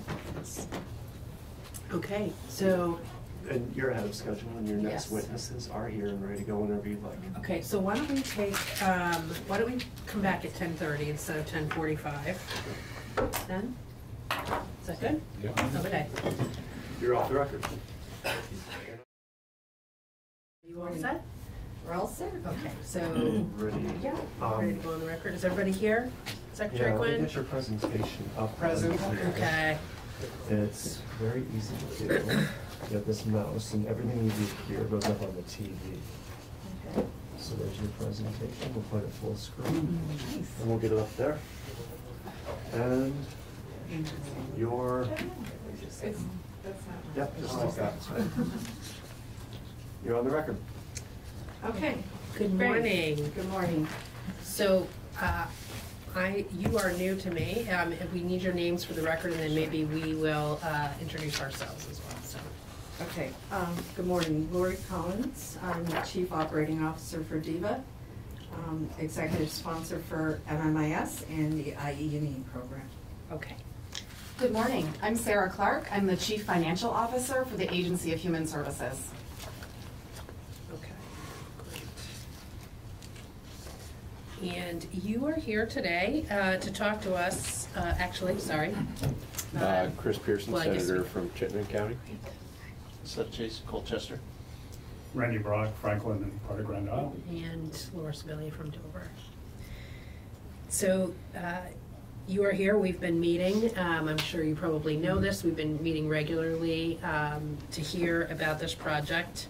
Um, And so, uh, at our last, uh, at previous meetings, we've really wanted to get a sense of um, what is the overall um, picture here with regard to costs and framing, and then how things are going to be going forward. And so it looks like you've prepared some testimony. Yes, I. So why don't we let you go through that, and then uh, we will ask questions. Uh, We have uh, 45 minutes, or we have we have 45 minutes scheduled. I don't know if, do you have time limitations? I do not. Secretary Quinn, does your office have time limitations? We are all set. Okay, so we, uh, after this, we are with um, Becky and doing some committee discussions, so we'll have plenty of time for questions, so we'll just let you go right Okay. ahead. Great. So again, good morning, everybody. Um, I wanted to just start out this morning by giving you a little bit of a background on, on my um, history as a state employee and at the Department of Vermont Health Access and before that, social welfare. Um, and um, this transition with Cass Madison leaving um, as of giving her notice as of October. So I have worked um, in state government for 41 years. Um, all of my time in state government has been with the Agency of Human Services in different roles. I spent 11 years as deputy commissioner. During that time, um, as deputy commissioner, I was responsible for the MMIS program and project work in the Medicaid Management Information Systems program. Um, I have also launched a number of different um, programs across operations. Um, I'll mention a couple, couple of them. I worked um, at the time with Mike Costa from the governor's office to lead the technical um, implementation of the ACO model, um, bringing in zero pay claims and encounters into the MMIS solution and paying providers differently, so the relationship with OneCare. So I led that um, in 2017. We've done a number of different projects um, in the MMIS program, a number of different modules that we've implemented, and I'll go into those in my slides. Um, I bring a team approach. Um, my approach is um, focusing on teamwork, in, um, being inclusive, collaboration, communication, and support. Um, as a result, today you'll hear from a number of our team members. I work really, really closely and have been throughout the whole MMIS program and launching these projects with Secretary Quinn in, in his staff, Sarah and her staff at the Agency of um, Financials Office, and across all programs in the Agency of Human Services. Over the last three weeks, we've, um, the MMIS program and uh, myself as executive sponsor over the last three weeks um, have worked really, really hard at understanding timelines for the IE&E program, dependencies, CMS commitments. We've um, held a number of meetings with Secretary Quinn and his team with um, Mike Smith, the new agency secretary. We're meeting with him weekly. We're providing him updates. We have one-on-one meetings with Secretary Quinn and um, Secre- Deputy Secretary Naylor. Um, And we're really trying to understand this program and um, what we need to do to move it forward. Um, Our team is confident and with our abilities and commitment to work together to succeed for the good of Vermonters. And um, we really feel like our experience um, doing project work, I mean, I've been doing project work for probably 30 years. Um, We'll be able to move this forward in the way that um, has been laid out and we'll be able to meet the deadlines. So I'm going to turn it over, or I'm going to start going through the slides now to give you a little more detail than about myself. So again, um, I have 35 years of experience and knowledge across all three of these programs, enrollment and eligibility, the Medicaid Management Information System, or VMMIS, and Health Information Technology. Ex- my experience has shown that teamwork, collaboration, communication, strong partnerships, and trust are all essential elements for successful completion of projects. I'm going to employ an approach that empowers the team to make progress with clearly defined roles and responsibilities that will ensure all of our success. We're going to rely on AHS Finance and DVHA Finance for finance, um, ADS for technology, and the uh, project resources, so that the folks, the humans that actually work on the projects. Um, we're going to rely um, the program and policy staff across the Agency of Human Services will represent the business. And lastly, we'll um, rely on guidance from AOA, AHS, and DVHA for, for legal support. So now I'll um, introduce our, um, the interagency team, ADS, AHS, and DVHA. Our collective success is based on a team-based approach. The transition following Deputy Madison's resignation provided an opportunity from hearing from a handful of key team stakeholders, including myself representing the Department of Vermont Health Access, and I'll be speaking to the business. I'm gonna work alongside John Zeneker, um, who's here in the audience, um, as the Deputy IE&E Program Sponsor, and Joe Lazinski and I have been working for twenty years together and he is the deputy program lead for MMIS. He has incredibly strong relationships with the staff working on the projects, and he works very closely with our federal partner, CMS.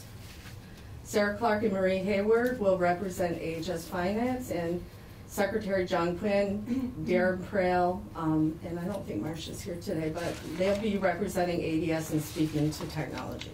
And Lori? Sure. Going forward in the Mhm. future, who will we direct our concerns about this project to? Me, Okay, I am executive sponsor. okay, So you will direct your concerns to me. okay, thank you. So now I'm gonna turn it over to Sarah to talk about the, the financial picture here. Thank you. Good morning again. Thank you for the opportunity to come in and provide some additional details surrounding the financials of the IE&E project. Uh, Unfortunately, I was not at your last joint meeting, um, but I did hear, um, coming out of that meeting, that there was a request for greater financial detail. So what you've seen in the slide right here is some high-level information.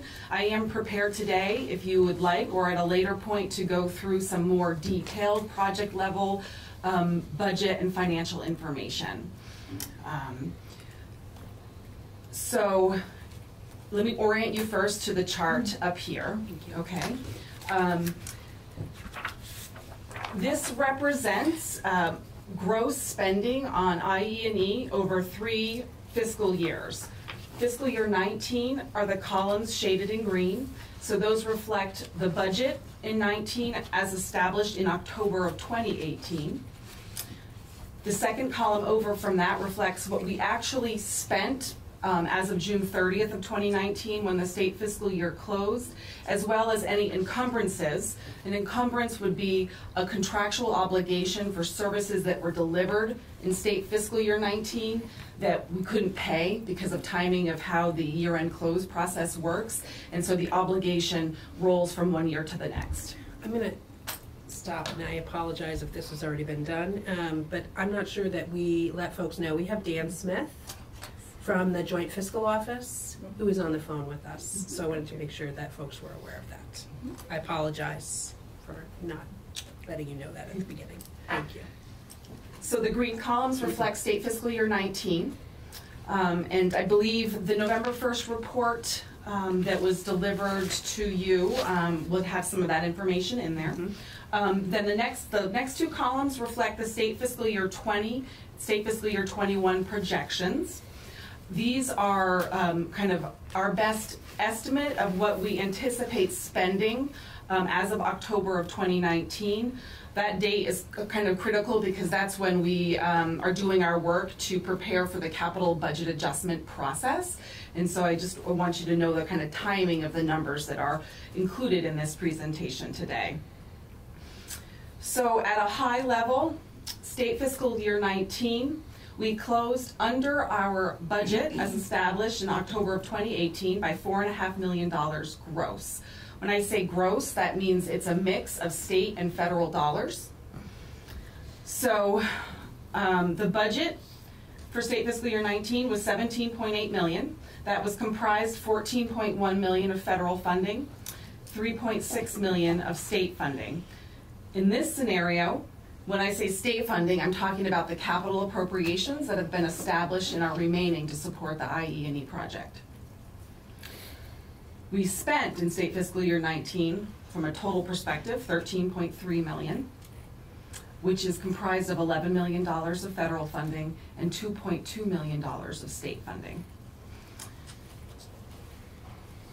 The existing, the balance in our capital appropriation at the close of state fiscal year 19, so as of June 30th, 2019, was $103,000.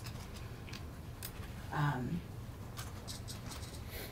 we are planning to, and it's assumed in these numbers, request an additional capital appropriation of six hundred thousand dollars in the capital budget adjustment process that will be um, delivered to the legislature um, this winter. Um, which is in line with our capital budget request from last year. If you recall, the, um, the original request from the governor included four and a half million dollars for state fiscal year 20, four and a half million dollars for state fiscal year twenty-one. Um, the appropriation that eventually was made by the legislature was four point seven five million dollars in state fiscal year twenty. However, of that original appropriation, two hundred and fifty thousand dollars was a set aside for the IT consultant, Dan Smith, who's on the phone. So it left four and a half million dollars for integrated eligibility in state fiscal year twenty. State fiscal year twenty-one, the appropriation in the as-passed capital bill was three point nine million dollars, which was a six hundred dollar reduction from the governor's recommended capital bill. At the time with the legislature, the conversation was, um, if you need the funds and you demonstrate progress on your deliverables, um, and a clear financial picture, we would like to have the conversation with you in the budget adjustment process. And so AHS is, uh, requesting the six hundred thousand dollars that would bring us back to the original request from the capital bill. I ask a, a question just regarding totals? Uh, One of the questions that keeps recurring is how much is integrated eligibility gonna cost? Uh, Is fiscal uh, twenty-one the last year in which you anticipate that costs will be incurred? And so if it is, then is it fair to say that the sum total cost for integrated eligibility is the sum of thirteen point three million from 19, 19.2 from twenty, and sixteen point eight for twenty-one? So let me start with the first part of your question, and I, I may need others from the team to weigh in. But um, state fiscal year twenty-one will not be the end of the integrated um, uh, eligibility enrollment project. Um, That it is anticipated to continue beyond that. Um, and I should let IT experts speak, but my kind of understanding of um, technology now is that it is an ongoing process uh, of improvement. That the days where we would build a system that would last for 20 or 30 years is not kind of the realm of technology um, anymore. I refer to experts. Yeah. Darren, I can talk for a second. Uh, Darren Prail, uh, Director of Digital Services for the Agency of Digital Services. Uh, CMS has directed us to build these giant systems um, that support the eligibility programs in a modular way, and that means buying the best pieces you can to build the whole system. They're very complicated systems that um, have a lot of different parts, and sometimes when you buy different parts from different vendors, you get the best of uh, breed essentially. Um, so we, and in fact, we have uh, continued to mo- uh, modify and develop the existing old system concurrently uh, because you can never let these systems uh, get out of compliance or out of security um, patching or any of that. So you, so not only do we have to build the new system and continually maintain it pretty much for the life of the system, we have to swap out the parts, which we hope will be smaller parts and less costly parts over time. So, uh, just to follow up on that, I mean, I, I, I understand we'll need to continue to maintain, improve, upgrade, but in terms of the original projected project, is twenty-one the end? Will the original projected project be I, complete? I do not believe that that would be mm-hmm. the end of the project. Okay. I mean, the one question that, that, that we continually ask is, how much is this gonna cost? So, It's a pretty simple question. And, and you could ask the same question about the existing legacy access system that we still use today on the mainframe. And it's been in, uh, it's been in production use for over thirty-five years. Sure, there, there are maintenance costs, Right, there sure. are adjustment costs, there are improvement costs, but in terms of getting the system, integrated eligibility as, as defined based on what the feds have asked, do we know what it's gonna cost?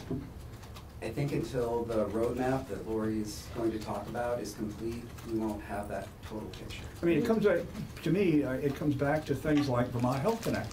How much did Vermont Health Connect cost? It's a question I've been asking for five years, and I can't seem to get an answer. Senator John Quinn for the record.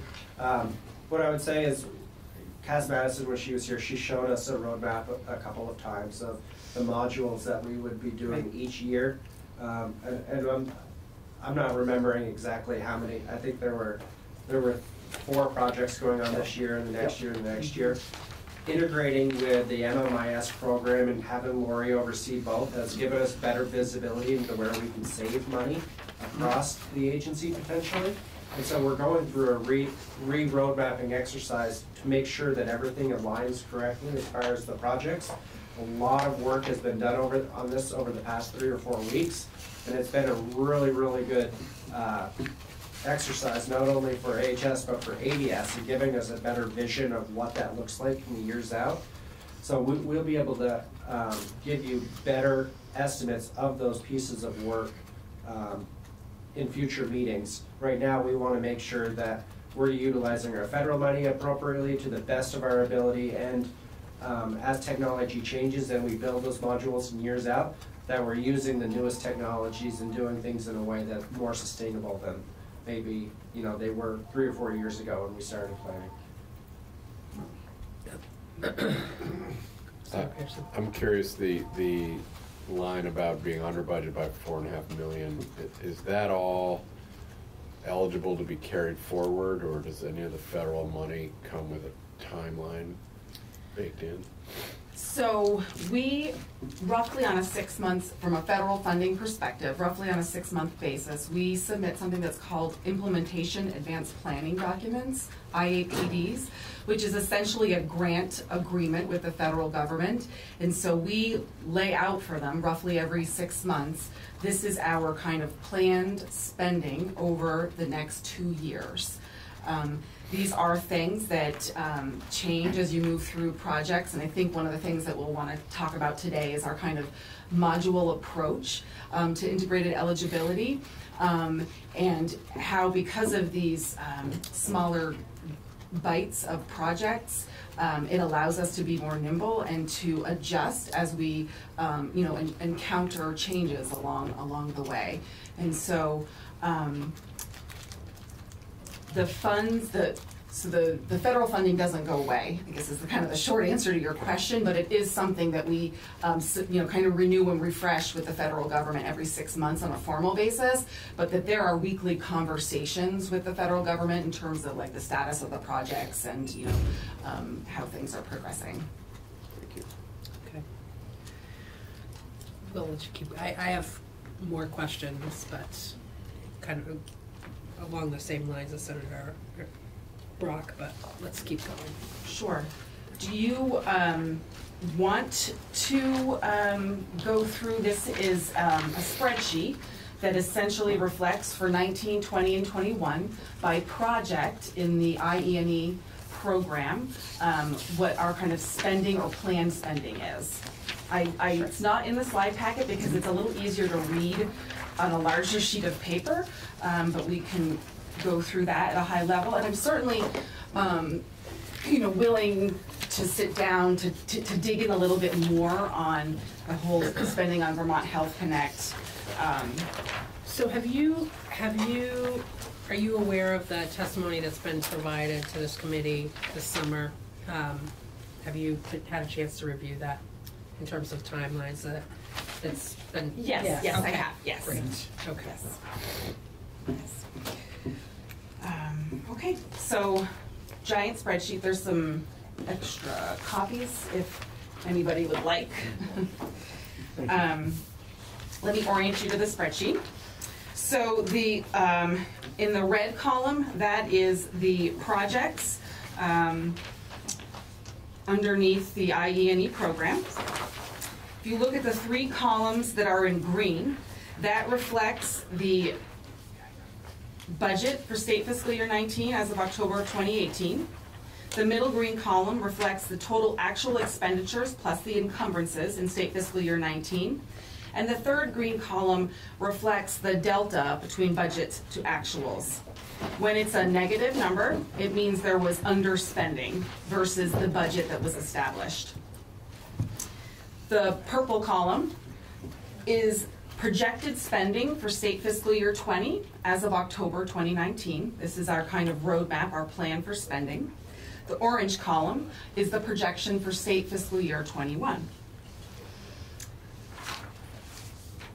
So at a high level, if you want to kind of maybe first talk about state fiscal year 19, um, and I, we can go through each of the projects. I don't know all the details, but I can maybe just uh, call out for you some of the like key areas of either underspending or where we overspent, which I think would be in line with the report that was submitted. You know, before you do that. Yeah.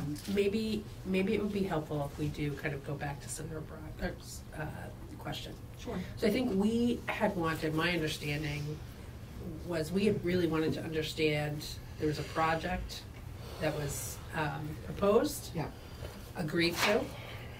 And we've been building it in modules. And we started building it um, and funding it. And then at some point, we will largely be done with building the project. And so what in that frame is not on the sheet? Are there a lot of things that are not on this? So what is on here is everything that we either uh, engaged in during state fiscal year 19 or plan to over 20 and 21. Okay. So if there's something beyond 21, for example, um, that hasn't yet been identified, or perhaps it has and it's further out in the future, it's not included on this sheet. Um, And if it's something that was completed prior to state fiscal year 19, it's not on this sheet either. And so I, I acknowledge that I, I was trying to address the questions that I heard came out of the last committee, which, which I think I've not captured here exactly.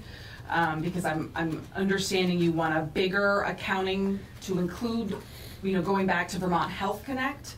Well, I, I use Vermont Health Connect as an example, and of course, one of the questions I have is, the, is, is the question as to what extent, if any, uh, does any of the work here in fact replace pieces in Vermont Health Connect that were broken to begin with and have never worked?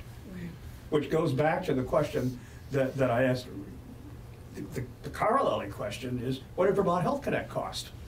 And is some of those costs in fact here? we, we, we, we we hear anecdotally that Vermont Health Connect cost about two hundred million dollars. But then I see an army of temps and contractors still today doing things that that system was supposed to do that didn't do. That is an ongoing cost. And if we have in this project something that doesn't work, and we've got to do manual interventions, we've got to add contractors, we've got to add temporary staff, mm-hmm. where are those costs? Are those considered project costs, or do those become operational costs? And so there's just a lack of clarity that I have about how much is all this costing, mm-hmm. and what buckets is it in? Mm-hmm. And I will add on to that, that I have found the testimony that we've gotten this summer to be helpful in terms of where we are in time with specific modules. Okay. Mm-hmm. So that's been helpful. I feel like we're, Okay. we're fairly comfortable in that space. Okay. It's really the, Okay, The big picture. yeah. okay. That is so- very murky to me at this So point. my apologies, because I definitely, I, I, I mm-hmm. understood that you wanted a little bit more project level detail for kind of where we are now and where we're planning to go. Mm-hmm. I very clearly understand your question is Vermont Health Connect, what did we pay for the development of it? But also, what are we continuing to pay for the operations of Vermont Health Connect that would include perhaps some of the more manual aspects that we are continuing to engage in while we remediate? Well, um, th- that's the issue, is that in terms of looking at project costs, and I, I I apply the same thing here, and I understand there's a different development philosophy and, and certainly more control here today than there was when Vermont Health Connect was done, and I acknowledge that and and congratulate people for that. But at the same time, uh, if we have continuing costs because we built something that doesn't work, the functionality isn't there, which is still the, the legacy of Vermont Health Connect, how are those costs being accounted for? Are they part of the project? Are they operational costs? Are they in the new project? And, it's, it's very, very murky.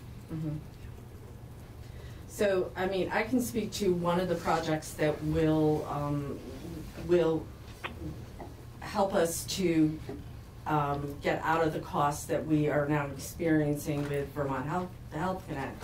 And Secretary Quinn is gonna talk about the BI project and where we are with that. So the Business Intelligence Project is moving, um, out of the Siebel, um, database and over to um, the state of Vermont data warehouse that the ADS staff um, is building right now. So he's going to go into that project in more detail.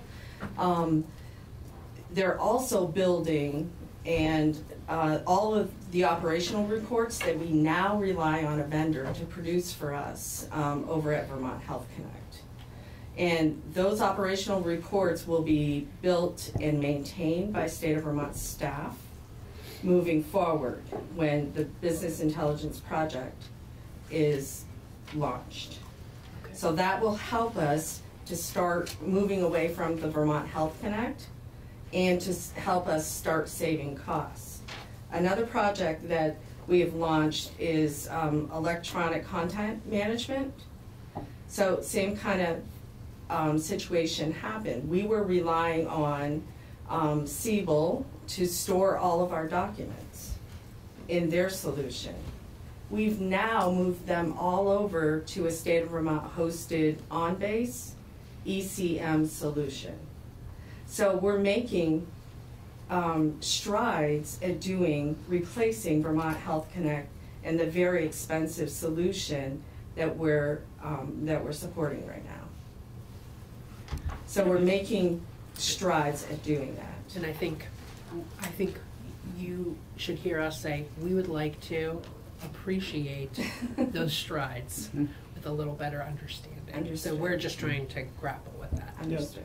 Is there some place that, from an accounting perspective, you've accounted for Vermont Health Connect to know how much we've spent overall as of this point? That's what I'd like to know. Yeah, yes, there is. Okay. I, I Maybe- don't- I don't have that for Okay, you but yeah, me if you today, could but provide yes, that there to is, us, and I'd yes. like to know, in particular, these ongoing costs that we could, are continuing to incur. Yes. Are they being accounted for as part of that project, as operational costs, or as part of this project? operational costs. And we can, we'll provide the kind of full scope um, of costs for Vermont Health Connect, how it relates to integrated eligibility, and the operating costs associated with Vermont Health Connect. Yeah, and I'd certainly like to know, as far as integrated eligibility is concerned, how much money are we spending in integrate, for integrated eligibility that actually is simply to replace the non-functionality that we are continuing to live with from Vermont Health Connect. Why don't you walk us through what you, what you thought Sure. we wanted? Okay, and Um, okay, we'll keep. we'll- Great. So, um, the, let's see, I think I oriented you to the top. Then this is the list of pro, pro, it's not up on the screen, it's the, um, Right. this detailed sheet. So, um, it is a listing of projects underneath the IE&E program. Um, if you wanted to focus on the third green column, that tells you, um, off of the budget that was established in state fiscal year nineteen, what were the key areas of kind of underspending and overspending. But remember, this is on a state fiscal year basis, so it's not gonna reflect what's the total budget for each one of these projects. This is a state fiscal year comparison. Um, and so, at a high level, you could see that the IE program support underspent off of the budget by four million dollars. Um, it's a pretty large bucket, the program support. Um, it reflects state staff, staff aug, security costs. Um, when we, um, have to do independent reviews on a project, which is a, I believe a legislatively required process. Um, there's a lot of different costs in that bucket. We spent less than we budgeted for a whole variety of reasons, um, including um, some projects just didn't move as quickly as were originally anticipated for a variety of reasons. But because of that, our um, spending on staff aug was less than originally anticipated in the budget. Does that mean that those are expenses that are not saved, but are simply deferred and will appear later?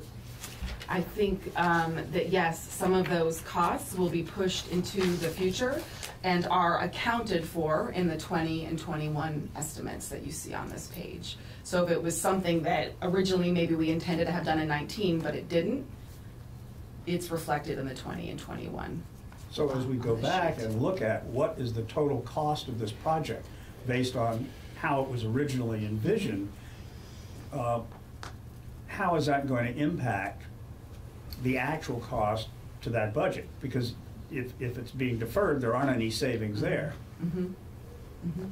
Does that mean that in terms of where we're, we we are in terms of our forecast versus original uh, budget, original plan, that we're on target, that we're over, that we're under? Are we able to, to tell? So I think, and I, I'm gonna let uh, IT and, and project um, folks fill in a little bit more, but so my understanding of, you know, why we're doing, one of the reasons that we're doing this module approach is so that when we take a smaller bite, um, from both a budget perspective and a, a performance perspective, that we are able to, as we move forward, if we come up with challenges, that we're able to adjust course. So that would mean both from a financial perspective as well as like, do we need to do something different to make sure that we're achieving our intended deliverable? Uh, and so, in that manner, um, though when a project is delayed, it does push costs potentially into the future. Um, we're also able to uh, right, uh, put ourselves on the right course so that we don't, um, and I'll say kind of maybe similar to Vermont Health Connect, so that we don't commit to uh, a solution that ultimately is not going to work for us and is going to cost us more money in the long term. Anybody would like to chime in beyond that? So I think Cass, or I'm positive Cass in some of her testimony talked about these, you know, um, smaller projects like the consolidated paper application. So that was the first project that launched and that was an idea of getting all of the healthcare programs into one, one paper application. That really had nothing to do with, um, with technology. That was more foundational work to get prepared for um, one of the phases of the portals. And when we come back in and talk to you more about how we plan or looked at this roadmap as we, we've been, again, three and a half weeks into this project. So we're, we're still working these things out. Like, you know, all of this work that's been done in this smaller chunks that has allowed us to um, kind of contain the project, have less risks. You know, how are we gonna move it, all of these smaller projects, um, figure out what we actually need in the end, and then we have to tie it all together. And that's just a simplified kind of view of it. And that's um, what we're trying to get on a roadmap, because we have commitments to our federal partner. Uh, We have commitments to you, and we have to make sure that we're meeting all of these, uh, all of these deadlines. And we end up with a solution that is gonna tie things all together. Remember, they're, they're tiny little, there's phases of the customer portal, there's an ECM solution, there's a business intelligence solution, um, there's a premium processing solution, all of these little modules, and we have to tie it all together in what we have been calling, and I'm sure Cass has referred to, a case management solution and a worker dashboard. That comes, that comes in the out years. And we haven't yet figured out, um, on our timeline, how, when that will actually fit in. But we will figure it out. Do you have any sense? We do have a As to sense. when you will figure that out and Oh. could tell us about it? Yeah, I think if you give us six weeks or so, we should have a really um, firm idea of, about that um, and how that will work. Are there new systems that are being used for the first time now that we're in open enrollment? Can you give us a snapshot of how that's going? Are? Or are we still in the legacy? Um, well, the document uploader is being used, so that was launched and that's being used. So what that means is Vermonters can actually upload any of their verification documents that they need, even in open enrollment. And that gets, um, created, it creates a PDF to the worker, and the worker will act on the change that way as we move through this modernization in the different phases of the customer portal, um, a lot of that will no longer be a manual process, it will be an automated process. And so that's working okay? That's working fine. Great. Great. Do you want to keep going through? Do we have more, do we have more on, go ahead. I mean, we, it- we can go through each of the projects, the areas of over and under spending, um, if you want, or there's more slides, I think, um, So I will, I, I am, so I'm looking at, yep, Mhm. okay, and I'm seeing that we have different projects listed here. I was trying to go through my notes and see, okay, wait, were these projects listed elsewhere? Um, So I'd love to orient myself on this sheet yep, to the projects that we've been following. sure. So there are more projects on the spreadsheet than there are here. Right. Um, because I think, um, the intention behind these was to, this was, I don't know, maybe the more, uh, pertinent updates to provide to the committee, and that's why these were, um, selected, um, for this executive summary level tab. But to crosswalk you quickly, if I may, so the healthcare paper application Yep. is, uh, project C. Yep. Um, and I think a- an important when, and I wasn't at the testimony, but when Cass was, I think, saying like things were over budget, she was um, reflecting on the total budget for that project. So not just from a state fiscal year perspective. So she was reflecting that things are over budget from the entirety over however many years, the time frame it takes to complete. But then when she said we finished fiscal year 19 with a hundred thousand dollar balance. I think there was some confusion perhaps about how if we're over budget in so many areas, how did we end with a, like a surplus? And I think it's because she was speaking to over budget in the context of the entire life of the project as opposed to just one state fiscal year. Yes. Which, which is what I kind of Yes. managed to very tightly, and we managed to each state fiscal year's appropriation Yeah. um, as opposed to the life of the, and so I think, I think that's what I'm attempting to clear up here with the spreadsheet. So the crosswalk healthcare paper app is is C.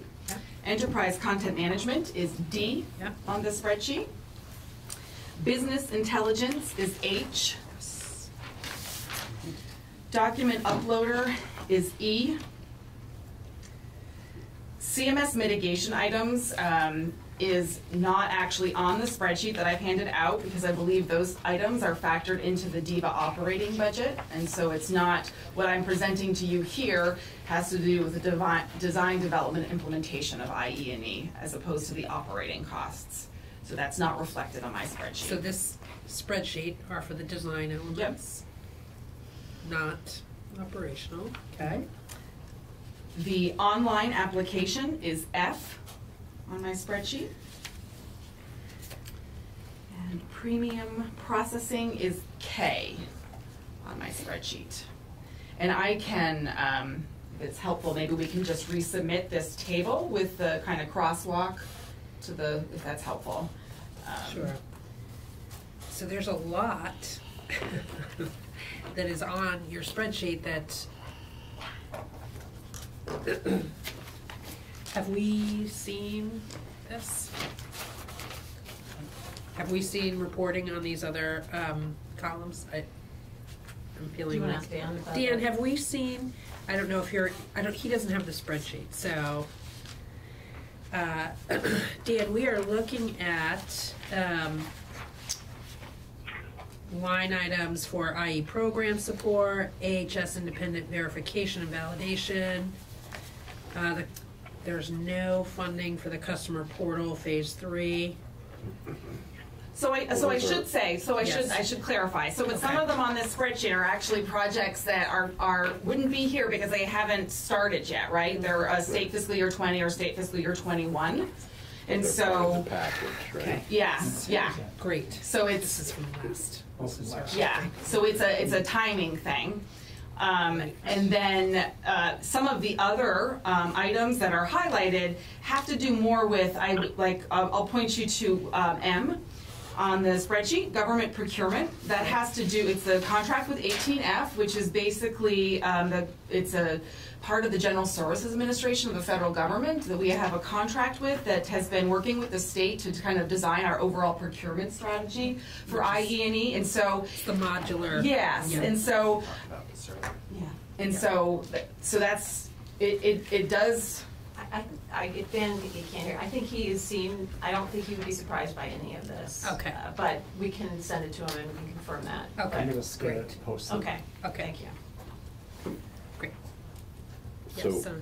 just, uh, one of the things that stands out from the old, uh, exchange days is the change of circumstance. So I think to Senator Brock's question, I mean, since very day one of launching the exchange, we have been challenged by the change of circumstance. It's, it's never worked. It's had a lot of attempts to have a workaround.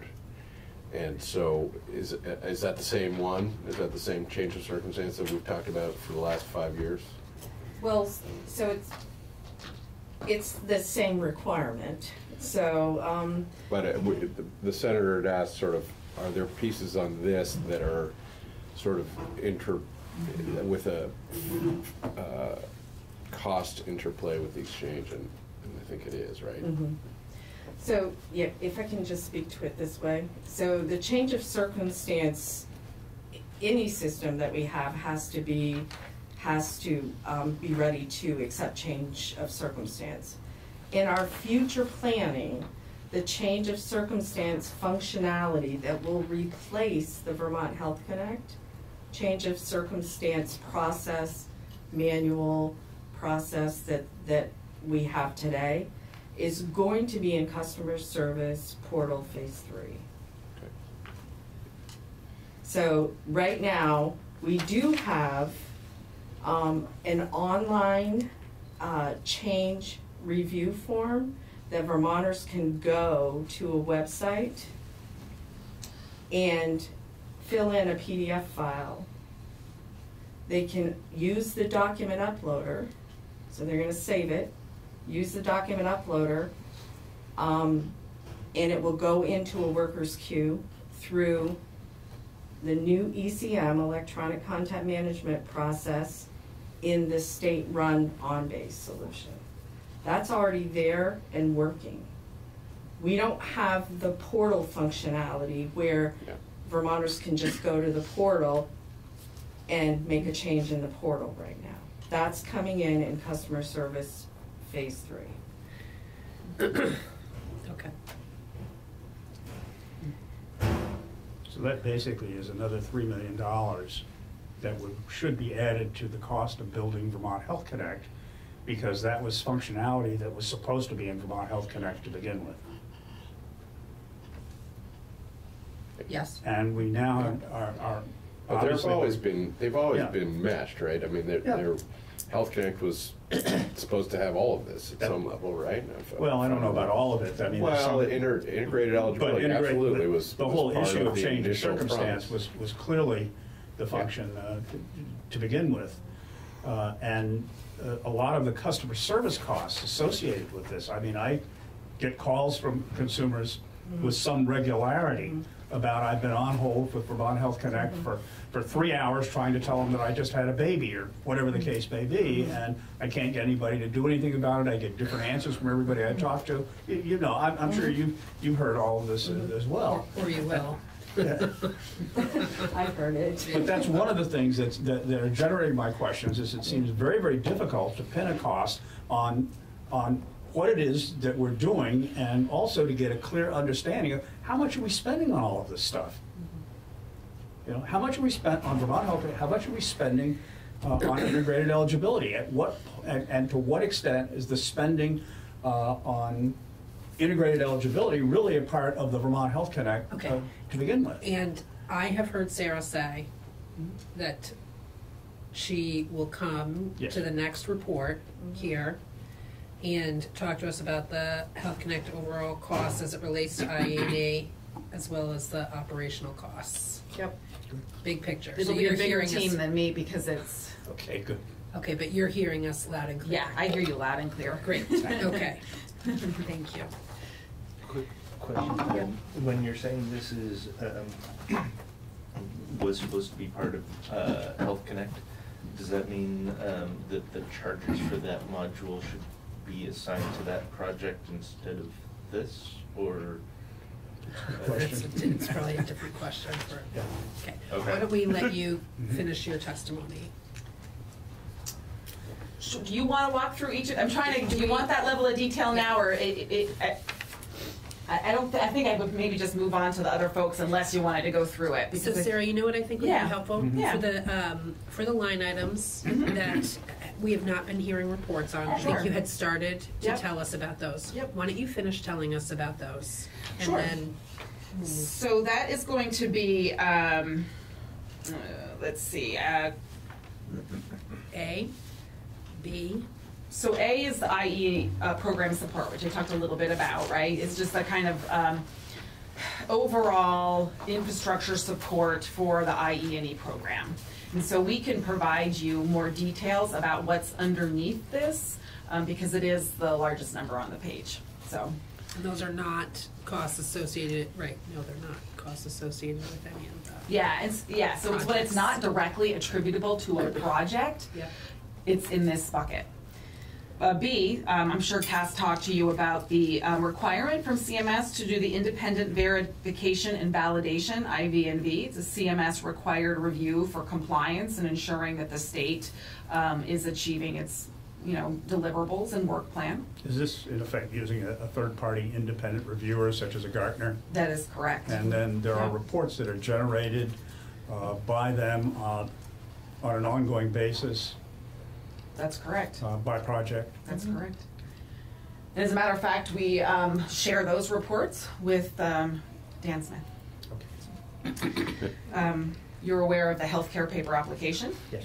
uh, enterprise content management, let's see. The um, F, customer portal phase two online application, that's a project that um, has started, but that's uh, budgeted in state fiscal year twenty and twenty-one. Change of circumstance is uh, scheduled to start in state fiscal year twenty-one, uh, yeah, twenty-one. We've taught, you are aware of business intelligence, business rules management. Um, and I probably am not great at describing what this is, um, but it is something that uh, has to do with expanding um, integrated eligibility behind the he- beyond healthcare programs to the economic services programs, and so it's the kind of foundational work to be able to make that happen. Sarah, Yes. um, with regard to H, Yep. so that's the business intelligence. Mhm. Have we made a decision on that project I'm ready to talk about that one. It's during your slides ahead. testimony? Yeah. Okay, okay. all right, why don't you finish that? Um, okay, uh, J, federal report development, um, again, though it's not called out individually here, um, I believe you're aware of it. This has to do with the federal enrollment and tax reporting requirements, um, that the state is required to do related to Vermont Health Connect. Um, the next one, K, premium processing, that's slated to begin state fiscal year twenty. The worker dashboard, state fiscal year twenty-one. Um, government procurement, and we talked a little bit about what that is, the contract with eighteen F for kind of our procurement strategy. Um, and the last one, uh, master person index, master data management, um, is a project that I believe was started and then is, is paused right now. It is paused and it's part of our future roadmap discussions with um, Secretary Quinn and his staff. Could you tell me uh, just a- briefly a little bit about uh, 18F and government procurement, as to how, as to what, what that consists of? Is anybody more familiar with that than me here? Um, Yeah, I can, I can go into it further. As we discussed in the first hour, um, 18F was hired to um, help us with agile procurement, help us look at our procurement practices in the state to try to streamline and um, get vendors on site in a faster way and still be competitive within the market. So one of the things that they suggested and worked with us on was uh, building retainer buckets of vendors. Uh, inviting vendors in um, to competitively bid on areas of work, whether it was, you know, by the hour, hundred, hundred and eighty-five dollars an hour for website work or security work. Uh, They would sign the terms and conditions with the state and be on standby um, to respond to statements of work by the state for work that's five hundred thousand dollars or less. So part of the approach with um, IE was to build deliverables that were five hundred thousand dollars or less and to be able to go out to these retainer contracts, put out a statement of work and get a response back in a couple of weeks rather than doing a full-blown RFP that could take, you know, nine months, twelve months, eighteen months in some cases, and get to work immediately and start working in smaller buckets, trying to get a deliverable that directly affects Vermonters and adds functionality in a, in a smaller way. And, you know, overall, I would say in that bucket, in the procurement bucket, we were very successful with, uh, working with them. Okay. So that's kind of project by project Yep. list. Um, Okay. Dan, have you had, a have you been able to look at this uh, spreadsheet? Is it uploaded? Yes, I have. He has, yeah. So just with your, with So a uploaded, quick, it's not, okay. So do you have any questions on this spreadsheet? We're gonna move on from it at this point. No, that, it pretty much matches with the uh, data that was presented to the Corrections and Institutions Committees uh, back with the original capital request. Great, okay. Thank you. Thank you. Sarah, how you. long have you been working on this project? Um, I've been the CFO of AHS for about four and a half years. I've been in state government for fifteen, which is a long time, but nowhere near my esteemed colleague, so I'm in awe of her. So, And so has your role changed at all um, with uh, the departure of Cass? um, I'm here today, so I don't think I've met with you guys before. Um, but I've, um, been testifying in the institutions committees on the capital requests as it relates to IE and E for as long as I've been in my role, so that, that hasn't changed, and I was there supporting Cass last year. Um, and so, you know, as the CFO of the Agency of Human Services, we have a two and a half billion dollar operating budget, six different, six different departments from corrections, children and families, um, disabilities, aging, independent living. So that's kind of all under my purview. Um, and so the, um, IT projects with really the onset of Vermont Health Connect and the kind of major um, efforts that we uh, undertook probably now six, seven, eight years ago. Um, the kind of financial impact of these large scale IT projects has definitely changed the CFO's job, right? Um, in terms of the responsibility for overseeing um, a large infusion of federal dollars and state dollars for the um, build out of these projects. So that happened prior to It happened, Cass's departure? yeah, prior, Okay. yes, but just in terms of the changing nature of this job.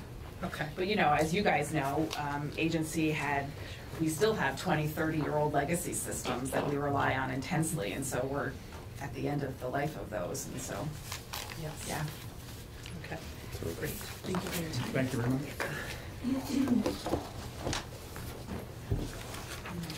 Sure. Take my seat. Good Morning again. So I, I'm gonna cover this portion of the, the event, or the, the testimony. Uh, the Business Intelligence No Project. No event, no event. Uh, the Business Intelligence Project has been one that we've uh, struggled with in the past a little bit. I think it's been red for quite a while. Um, as you may recall, we've had a number of issues that, um, at first, you know, we called networking issues, uh, state network. Um, it looked like there was a, you know, fairly big problem with the state network that was causing replication issues. Right. In the end, we found it was a, a bug with the software that was running on the Vermont Health Connect side and that, and that stack of products, uh, specific to a certain version that really only affected the, the replication. So it was an extremely technical thing that, you know, it, it took us a long time to figure out. We had vendors in. Anyways, we're past that. That was the transfer of That- data that was the between transfer of warehouses, data. yep. Since then, um, we- we've been working on, uh, over the past month, uh, three weeks, uh, the transition, what it looks like with uh, new leadership coming in at Human Services, what the work is, um, looking at the, the dates that we have set out for completing the BI project. And ADS and AHS have committed to being able to finish this project in, in February. Um, At the same time, to, to cover ourselves, we have executed a contingency plan to make sure that we're able to get out uh, the delivery of 1095s and federal reports if something was to go wrong. But um, our boots on the ground, our project management, our um, senior leadership teams in these agencies are all feeling confident that we can get this done in, in February. We're, we're done with most of the highly technical work, and right now it's looking at the data, comparing the data, building the reports, testing the reports, and based on the timelines that we've put together and the people that we've brought in who have uh, been really instrumental on um, agile process and agile development and being able to plan out these things, people that have the most experience are showing that we can do these in, in time for, to meet the February deadline. So for the first time in, in quite a while, I feel, I feel pretty strongly that we can, we can make this deadline and that we're on the right track. You know, I, w- I would say, and I, and I mentioned this to Lori's deputy before Lori took this role and before, um, we knew that Cass was leaving, that, you know, I don't, I don't give Lori's side of the shop, or which I call the MMIS side, a lot of attention, because they do projects really well, and they've been successful, and they continue to be successful. So usually when you see a lot of involvement from me, it's because something's gone wrong in the past. Um, and so I'm feeling very confident in both the ADS and the AHS side that we have the proper leadership in place to do this. Okay. I I thought 1095s were due by the end of January, so am I, am I just mis- misremembering that? They're due at the, by the tax year, so we've, al- the contingency that we have in place right now, um, it's really not a contingency, it was like business as usual. So we have the vendor archetype who is gonna create these ten ninety-fives. What we're gonna do is while they're creating the ten ninety-fives, we're gonna replicate it on the, the state side to, um, use the data that is migrated over to the data warehouse on the state side to replicate the ten ninety-five process. And so that would be what we'll use to actually test the process, to be able to create them in, in the next um, tax year. But the forms that Vermonters are getting are out of the legacy, the Yes. last year's system. And then, uh, if I recall, there was questions, or is it an Oracle that's doing the, that, this is the component that we were worried about having to re-up with, right? Because it was, it's tricky, that we didn't really wanna update to the new Oracle, we couldn't really keep the old one, right? So, so if we hit your deadline here, February, does that save us money? Like, are we able to get out of that contract in a way that's gonna save us money, or, uh, forgive me, I'm sort of half remembering the, what we were talking about, but I just remember there's a lot of interplay there in terms of both system abilities and budgeting that was sort of a shocking number if we had to keep going very long for.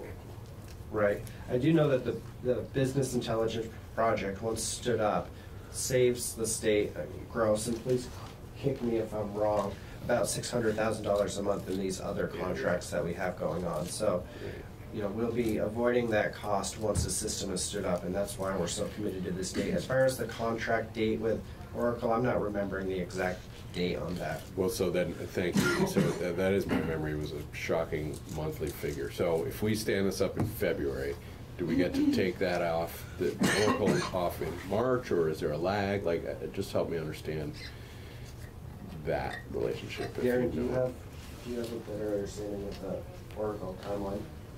Uh, yeah, in, in, uh, after February, we're upgrading all of the, or we're- actually upgrading the products right now. Um, but it won't go live until February. At that point in time, um, we will, uh, be able, if, once we get this done, be able to turn off the, what's called the OBIEE, which is the business intelligence, uh, software, the Oracle software that runs. So it could be Um, immediate, as soon as we're right. satisfied with Yep. this? Okay. And, uh, and then also discontinue the use of the, the contract. Okay, thank you. You can, so we're not locked into a contract past That's- February? I guess that was perfect. No, the contract actually ends in February, if I'm not mistaken. Okay. That's correct. And that, that's, I mean, we're, we're. That's why you were. Yeah, we're moving wanted to be resources. really sure. We're moving resources around, we're pulling resources from other departments. We're trying to put the absolute best and brightest on this that will make sure that we have success in the end.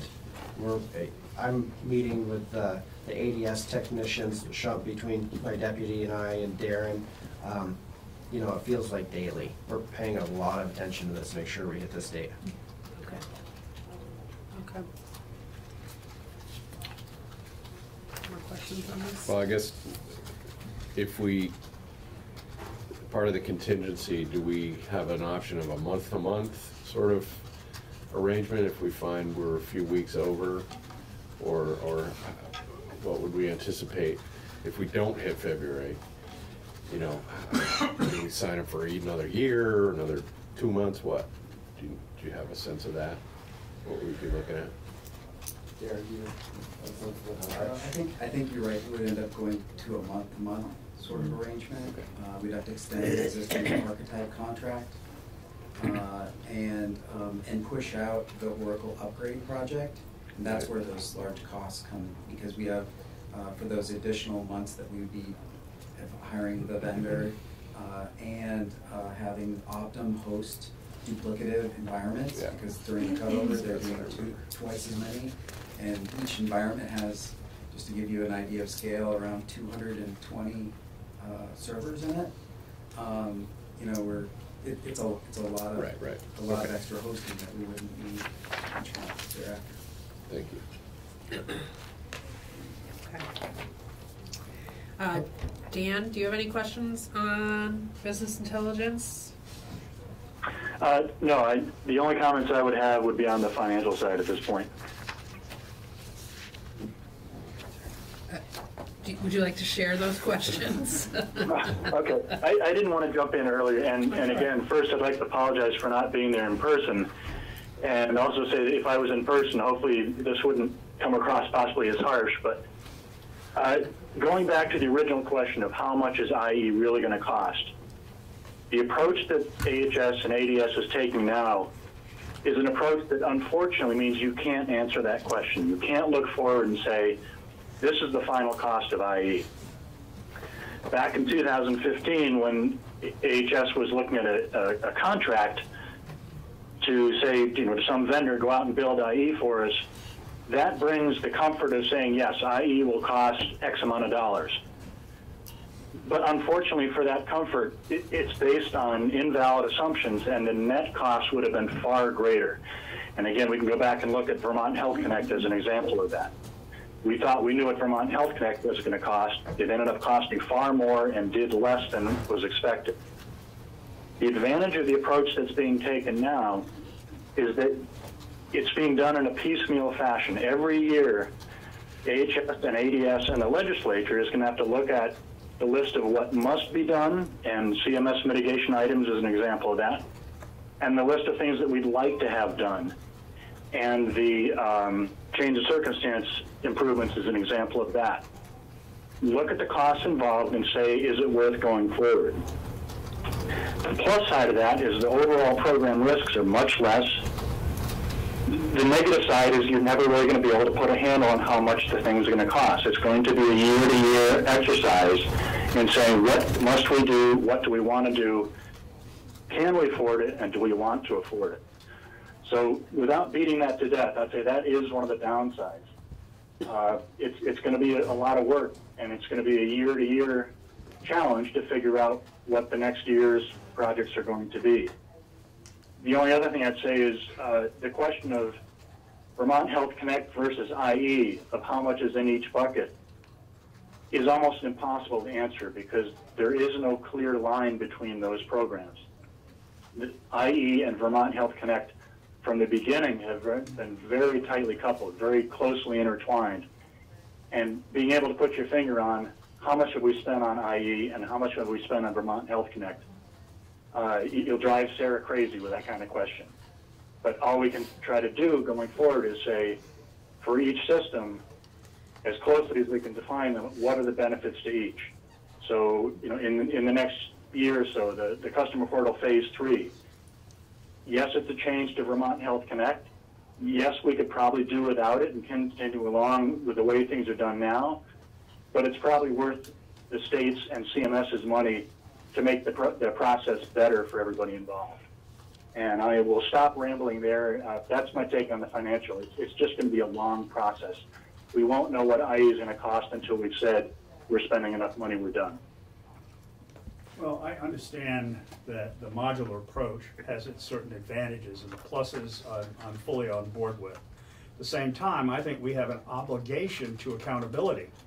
And when we uh, establish what essentially is a never-ending chain of costs, we never will know how much we're spending, and it's very difficult then to look back over a three, four, five-year period uh, to be able to evaluate, did we do the right things? Have we spent the correct amount of money?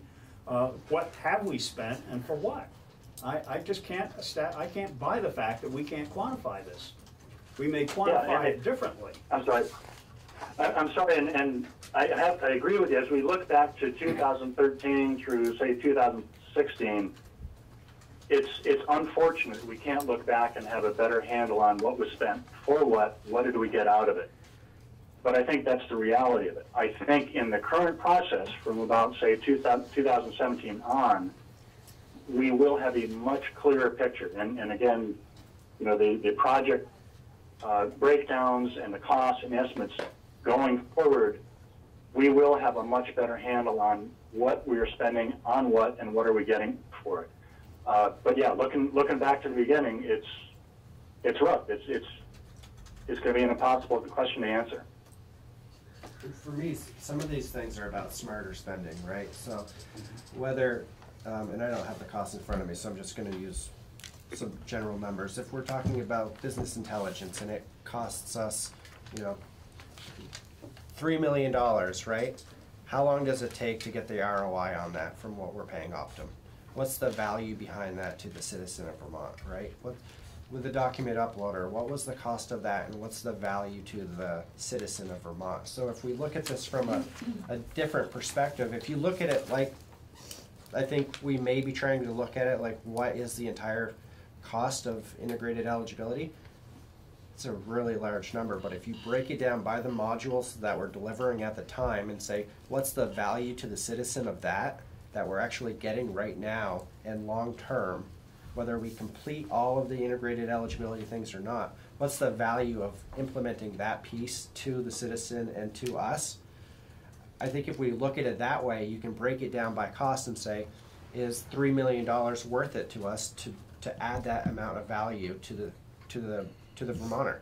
Is document uploading, making it easier for us, um, making it easier for the Vermonter to be able to upload documents so we can turn around and process that faster on the back end with less resources worth the price compared to trying to come up with a two hundred million dollar number saying it's gonna do all of these things and trying to wrangle it all in one big number, I think that's really difficult. But I think if we look at it in smaller chunks, kinda like how we're building it out, and look at the value story behind each one, you can kind of break it down a little simpler, or at least that's the way I'm looking at it in my mind. You can measure each little cut, but what you really wanna know is how much blood did you, did you spill? And I can't accept the fact that we don't know and can't figure it out. I just, I, from a basic fundamental system of government accountability, I, I simply cannot accept that.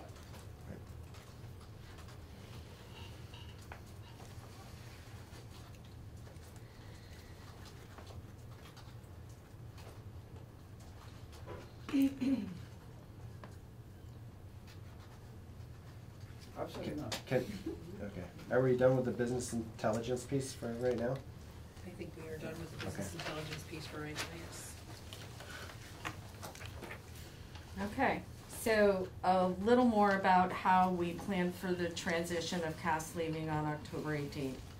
So, um, when Cass gave her notice about leaving, um, the beginning of October, um, we, um, immediately went to a structure, um, to, that would align, um, with the way CMS had actually been structuring. Just this past summer, they released a new organizational structure where our state representative um, was going to be responsible for all three programs, so MMIS, IE&E, and HIT. And we looked at that and said, is there an opportunity to bring um, the executive sponsorship and the leadership team that we had in MMIS and share that leadership team with the IE&E programs to help um, move these programs forward. And we quickly um, decided that that might not, that would be a really good structure. Um, we have foundational teams in the MMIS program already built. We have teams that are responsible for CMS certification. And if, um, I'll explain a little bit about certification. Certification is um, when you're allowed to get enhanced funding for your maintenance and operations costs. So in MMIS, that's, um, certification is something that we're really used to. In the last three years, we have certified uh, pharmacy benefit management solution.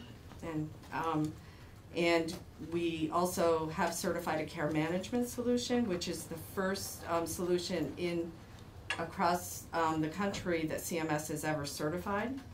We've also, um, next Thursday, we're hosting CMS to certify our provider management module. So just in the last two or three years, we've certified, um, three modules, um, in our MMIS program.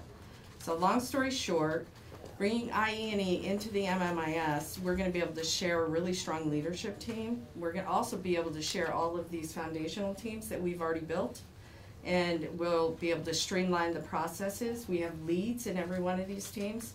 A recent example is um, the, the reports that John and his team are, um, are building. We have already shifted over to our QA and testing team and they're starting to test them. If we hadn't combined these teams, um, we would have had staff in the IE&E program that would have had to leave their day jobs to do the testing on these reports.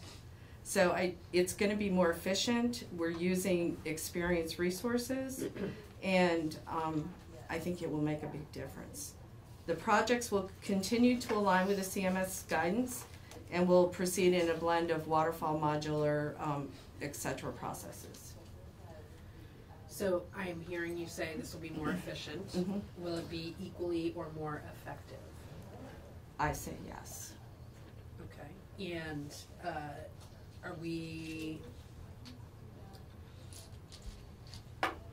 are we, uh, have you, are you now doing your old job and Cass's job at the same time? Like, is that, like, So Cass's job was, she was deputy commissioner and she had responsibility for the IE&E program. And she also managed that, um, she oversaw the health access eligibility unit and hundred and forty employees there. And she also had different other responsibilities, um, in DVHA. She was responsible for performance improvement and other things. My main responsibilities, to answer your question, I'm gonna be doing the job I did before, and I'm also gonna be the executive sponsor over IE&E. But the reason why I can do that is that I'm an executive sponsor. I have an incredible team. And I have incredible relationships built, you know, and I have the relationships built across the agency. so, that's helpful. Mhm. And do you, do you know, is that position, um, is Cass's, the remaining aspects of Cass's position, uh, expected to be filled? Do you have any insight into that? I don't really at this point. Okay, I haven't heard that we're not filling it. okay. But the piece that we are interested in, which is integrated eligibility, you are taking I am doing in that. In addition to what you were doing. Yes, I am. And you have the capacity within your existing teams Yes. to do that, is what I'm hearing you say. Yes. Are there staff that transfer over to you? I mean, I'm not. There is. How many? Uh, I can get back to you with that number. We're still Okay. trying to figure this out. Um, Okay.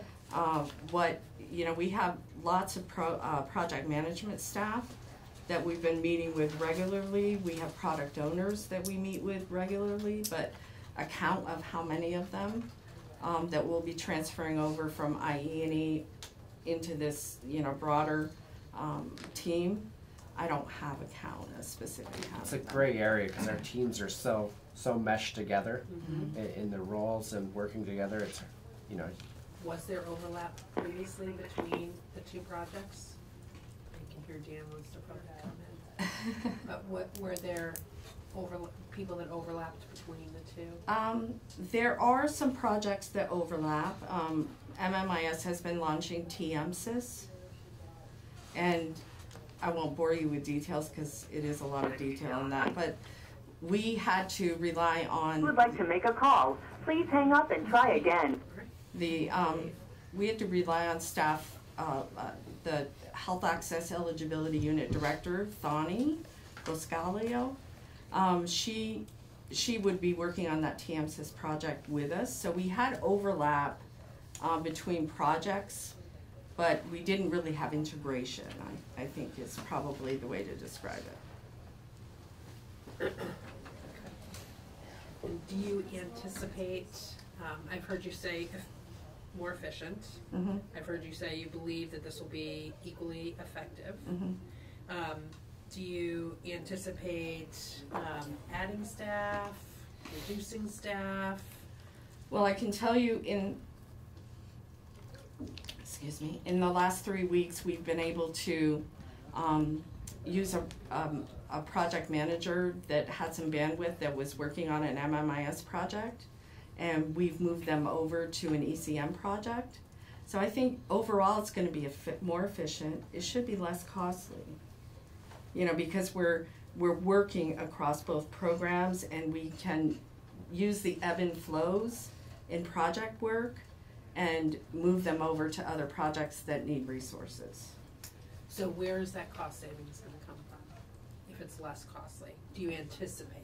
So I think you'll see it most in the, the program, the, um, IE program support. You'll, you'll, you'll see you should see less cost there and less cost in the MMIS program support if we can leverage it either way, right? Okay. Is that contracted services or those like state employees? It's a blend. Blend. Yeah, we use contracts for staff aug and we also use state employees. Okay. Great. Oh, you're well over your time. Um, but this has been helpful. I appreciate you working so hard to provide us an update in such a short amount of time that you've been grasping with this. Do you wanna walk us through the rest of I the will, presentation? and very quickly. So I think um, I touched upon our um, certification successes. So um, again, care management, we certified this. um, And we, we actually got the letter in October of 2019. We were able to go back and collect um, enhanced funding at 75% back to 1117 with this certification. So that, that's a big win financially. Um, again, we're hosting CMS next week, Thursday. We're gonna certify this provider management module and hot off the press this morning, we learned that, um, Puerto Rico is actually coming to us on, on December fifth. Staff working on an MMIS launch of the provider management. They're coming, um, December fifth to talk to us about how we were able to launch this um, provider management module in less than a year. And they want to talk to us about how um, they can replicate some of that. If they need us to go there. I said it'll be a rude awakening being here in December. So there's just the success of the project there, you know, we were, this was a legislative mandate because it was taking us so long, over hundred and twenty days to enroll a provider. We, we launched this project and now we're enrolling providers in eighteen to twenty-three days. So, we're gonna continue to employ this modular approach for IE&E projects in twenty twenty. We've launched the premium processing project.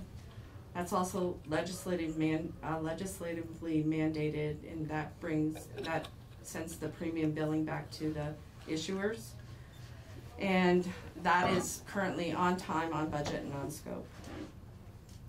We have customer portal phase two, which has just launched in the last week, week and a half, I think. And that's um, the online application project. So that's where they'll be able to enter this portal, Vermonters will, and they'll be able to um, electronically apply for health care coverage. And we're on time, on budget, and on scope. Great. Thank you You're very welcome. much You're for welcome. coming in. Um, I'm sure you've been working hard to. Mm-hmm. So I, I'm not sure that we're gonna meet in December. We may meet in December, but it sounds like, um, you all, I heard about six weeks. So you might appreciate, um, not coming back to talk to us until January. That would probably be very appreciated. Okay. And so at that time, um, I want to be clear that we send uh, these folks off with um, very clear idea of what we want them to testify on, based on um, based on Dan's comments, your concerns. Um, as I said, right now I've got this question here: for Vermont Health Connect, Vermont Health Connect costs and how they relate to IE and E, and I'm hearing Dan say that that's going to be really challenging. So, do we want to? Do you have recommendations, Sarah, on based on our questions on what might be more helpful? So I think, and I'm just trying to go back in history a little bit, because we had, probably it was three years ago maybe now, we did kind of testify, this committee didn't exist then, right? So to, to different legislators. Um, so I'm, right now, I think my approach would be similar to what we did the, the last time. And there's actually, if you look in the November first report, um, there is on page nineteen, there is some financial information surrounding kind of what we've spent on Vermont, Vermont Health Connect and IE and E from the, from the kind of dawn of these projects. Um, and so there is the accounting for it at a very high level, what we've spent. But Dan, you know, his comments were very on point in that it's, it's hard to determine um, where Vermont Health Connect ends and integrated eligibility and enrollment begins. But I think in my mind, I understand your question and I will, you know, do my best to answer it with the information that I have. Well, to me, the, uh, the issue is the functionality. And the functionality that was uh, allegedly built into Vermont Health Connect, uh, from the time that it was initiated up until now, how much have we spent to deliver that particular functionality? Not to maintain it, but to deliver it. So we have the original development cost in Vermont Health Connect, which presumably we'd be able to quantify.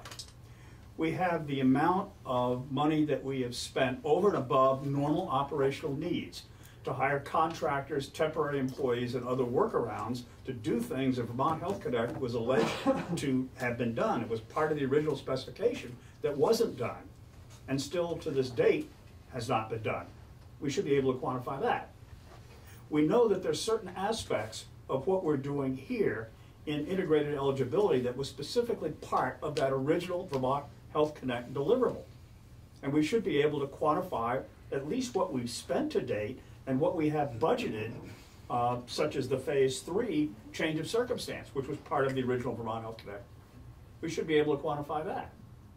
So those are specifics that we should be able to come up with both an actual to date and a budget to get the total amount for that.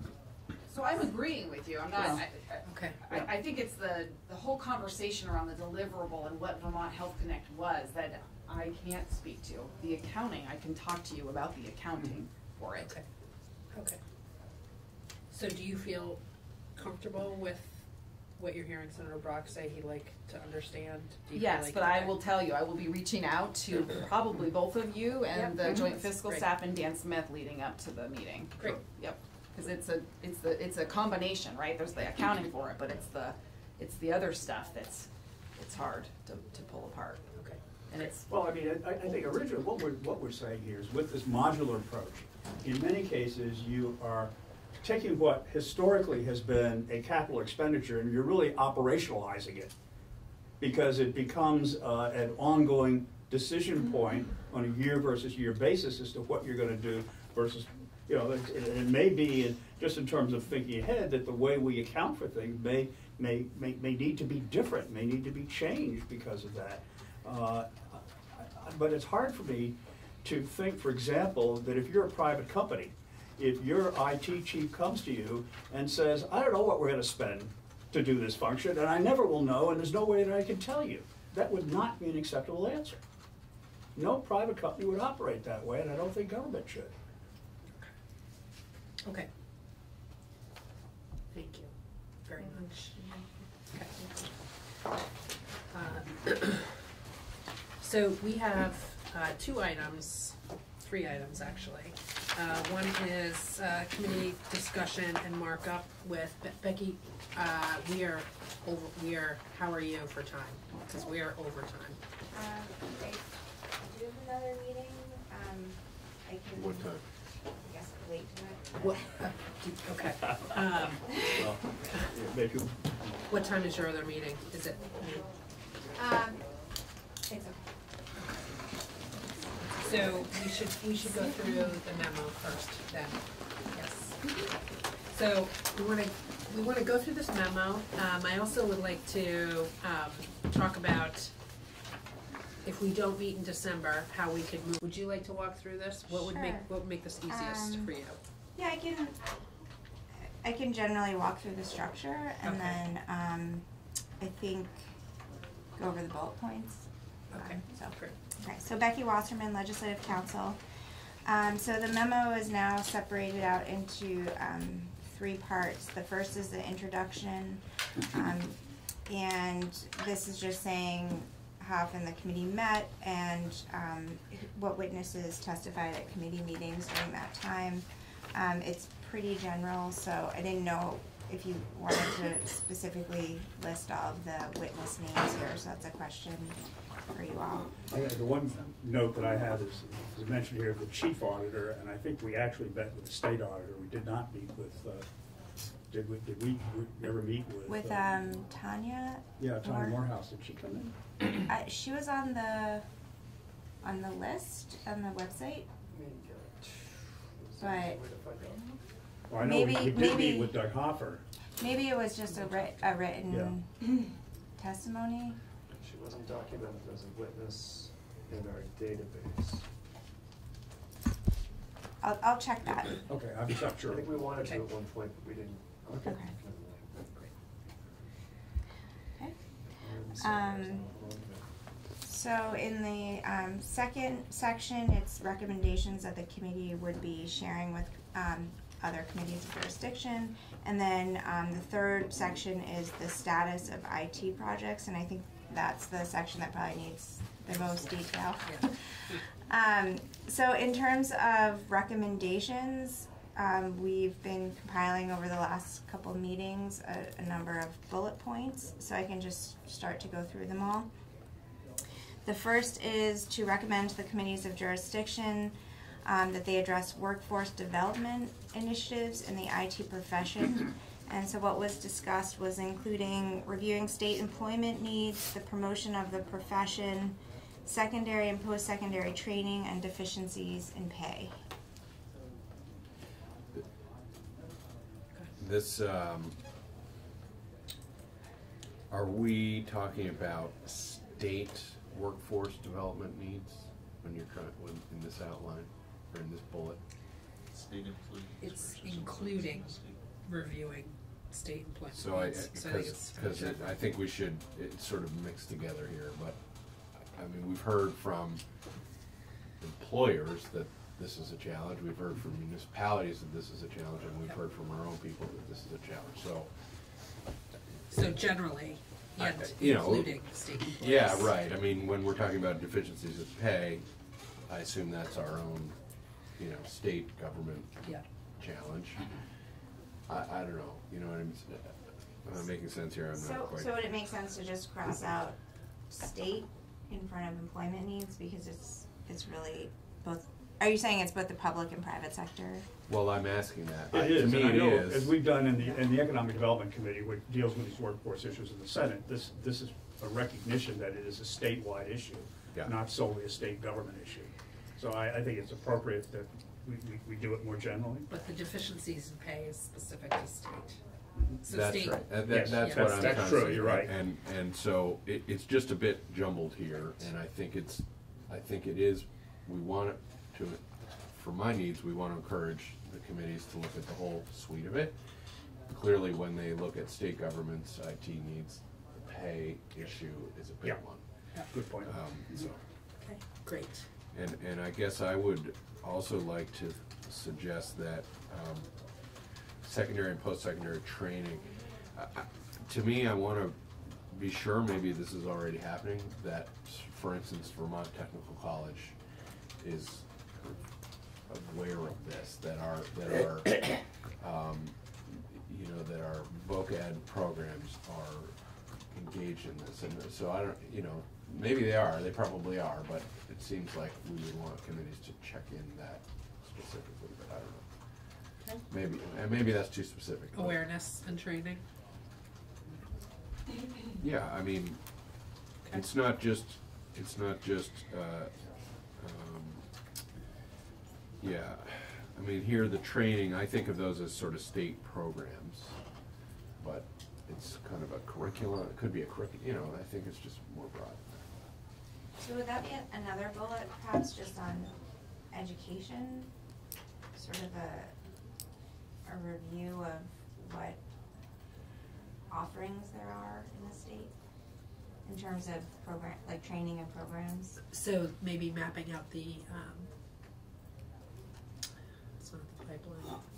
Well, it is the pipeline, It's- no, it's I the think that's, that's right, I- I- um, well, maybe it is a, a different bullet, because it's more Education likely to pathways, go to education different, and different certification committees. pathways.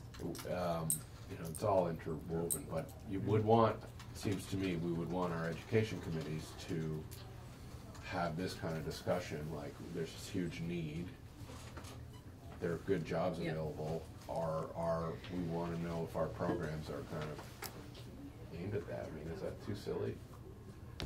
No, it's not. I mean, and, and we've, we've certainly done it with other, with, with other professions. And we, we have, we have a, a suite of things that we say, we know that we have critical needs in, in, in, uh, in construction, in. uh, Nursing. Yeah, nursing and some of the healthcare, allied healthcare professions and so on, and just to make sure that information technology and information, uh, uh, security uh, are among the critical needs that we have in Vermont, and that we have workforce development programs that recognize those needs and, and, and, and focuses on the pathway to fulfilling them. Do you have it? Mhm. Great, okay, let's go to the next. So the next one is um, a review of both federal and state statutory provisions on cyber crimes to determine any deficiencies. And last time there was also discussion of requesting an opinion from the AG's office about um, whether any statutes need to be modernized. I'm okay with that. Um, I, I think what I've heard from other testimony in the meantime is that those things are generally addressed already. I'm not sure if we necessarily need to call it out or just kind of an ongoing thing. I'm happy to pull the bullet if you wanna pull the bullet. It, anybody else have any feelings on it? I really, I want to read the statutes regarding cybercrimes. I haven't, I, I've spent a long time since I've read them, just to, just have an understanding as to whether or not we see the issue based on what we've heard here over this past year. To, to me, it's an excellent question, but we've kind of heard that Yeah. it's not a big gap. Okay. So I would take So let's that. pull it. Okay, great. Um, the next bullet has to deal, uh, deals with the risk assessment process, so developing an IT risk assessment process within state government to ensure that the state prioritizes the, um, IT risks that it faces, responds effectively to those risks, and has a process in place to raise, um, inadequate, inadequate risk response to the legislature for that action. And there would be um, a couple entities involved in that process, including ADS, other executive branch agencies, the legislative committees of jurisdiction, and the state auditor. And I had, this came from Senator Brock, and I had paraphrased it to fit into the um, structure of the memo. And there was um, a note in there about the state auditor's um, ability to perform this mission, whether or not they have enough resources. So I, I put that footnote in there, but I didn't know if you wanted to include that in the memo. No, I, I think that we would, I would wanna include that in the memo. I think we should uh, check with uh, Hoffer. Well, if we don't include it in the memo, then I think we Yep. need to include that we want, and I think we need the word auditing in here. Or do, well, yeah. No, for the independent auditor, the state auditor is, is for independent Yeah. auditors, I think that's, that's correct. The only question is whether or not this resource issue ought to be included, and I think I, I would, I just think we ought to consult with Hoffer before we put it in there. I- I- Make sure we're all on the same page. Yeah, I do I mean, that I think you said could ask the same question of what we're asking the Agency of Digital Service. You know, I- to me, the question is baked into anything we're asking. Mm-hmm. So I don't know that it needs to be called out especially here, but my experience with Auditor Hoffer is he's more than uh, capable of raising that concern when he's given new tasks, but So then maybe we want to, rather than be concerned, we want to work with the auditor to have this function happen. So the bullet point is saying that this process should include all of those entities, so it would be including the mhm. auditor Okay, there. Great. So take out the footnote.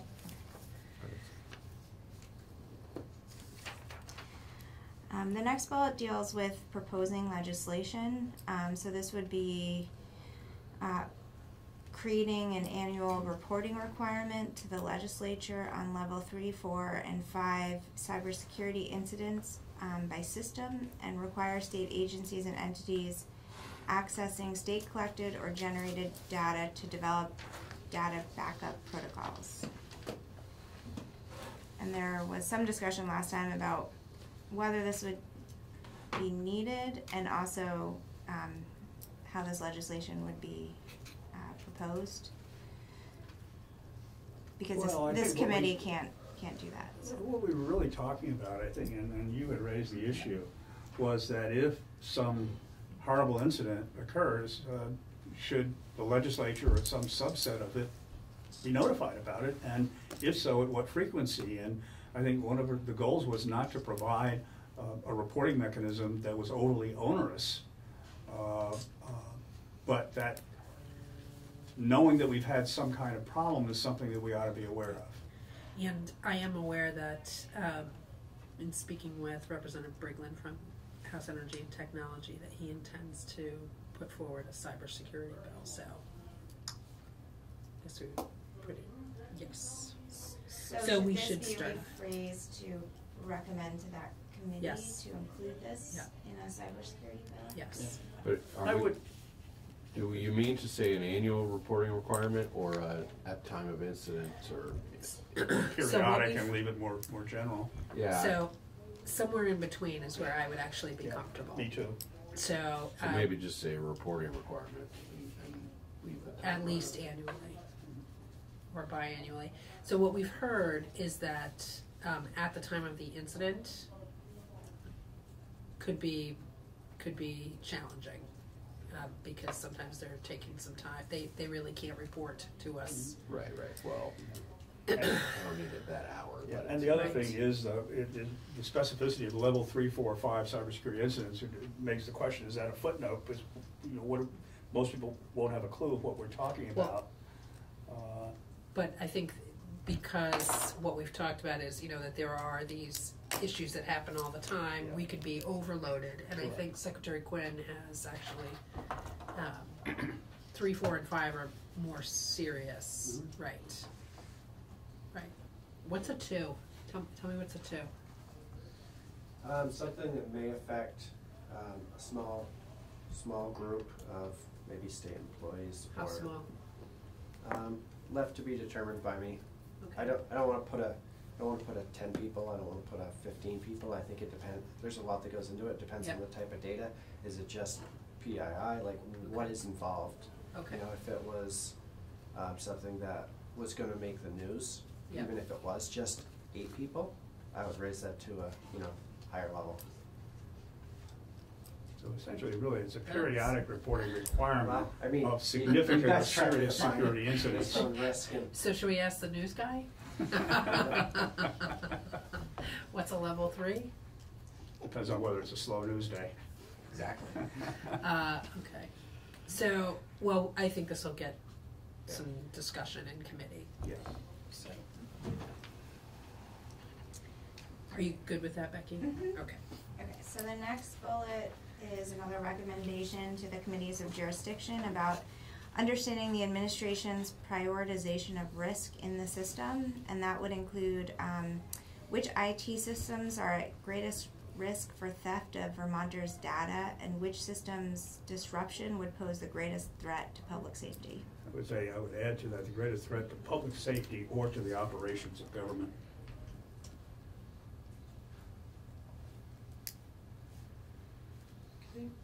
And for systems, I think should have an apostrophe Yes, after it. I I just noticed that as well.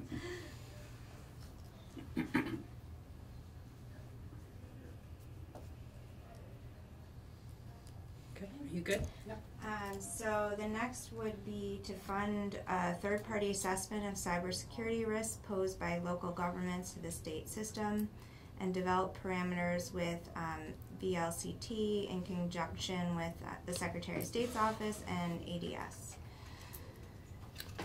Uh, I'd like to, I think that's smart, but I also, I think, I wonder if this, we also just need to understand the cybersecurity risk posed by local governments, not only, this sort of hinges it to our own systems. It- it- You know, when, when the town of Bradford gets hit with a two million dollar ransom request, you know, that we're gonna need to deal, we're gonna be engaged, so it's not only the intersection to the state systems that I think is a state interest, if that makes sense. I'm, I'm not quite there with you. You don't agree, or you No, don't I don't understand? understand. Well, this says the cybersecurity risk posed by local governments to the state systems. And I think that it's clear that municipal systems have their own risks just to their own systems. So you like an assessment overall of Yeah. the municipal systems. Is Karen in here? Um, and so what would we do with that assessment? Well, uh, I think that we ought to be looking for ways where the state um, centralizes some municipal IT functions and, and makes it easier for them and makes it more secure for the, our communities overall. But, you know, Tend to tie into that sweet thing from. yeah, yeah, I mean, I'm pretty far out of my knowledge base here, but. That could be a pretty big chunk, and I, you know, I, I I just wonder whether or not this, that the state should do what the federal government does, so for its agencies in a lot of cases, and that is define a set of best practices, uh, as well as the ability for them to decide whether they're gonna do it or whether they're not.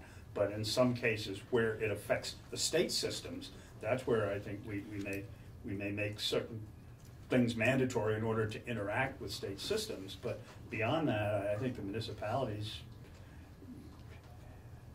uh, I'm not sure that the notion of doing a risk assessment for all the municipalities of the state, that, that's a, that's a big chunk Well- and potentially a big number.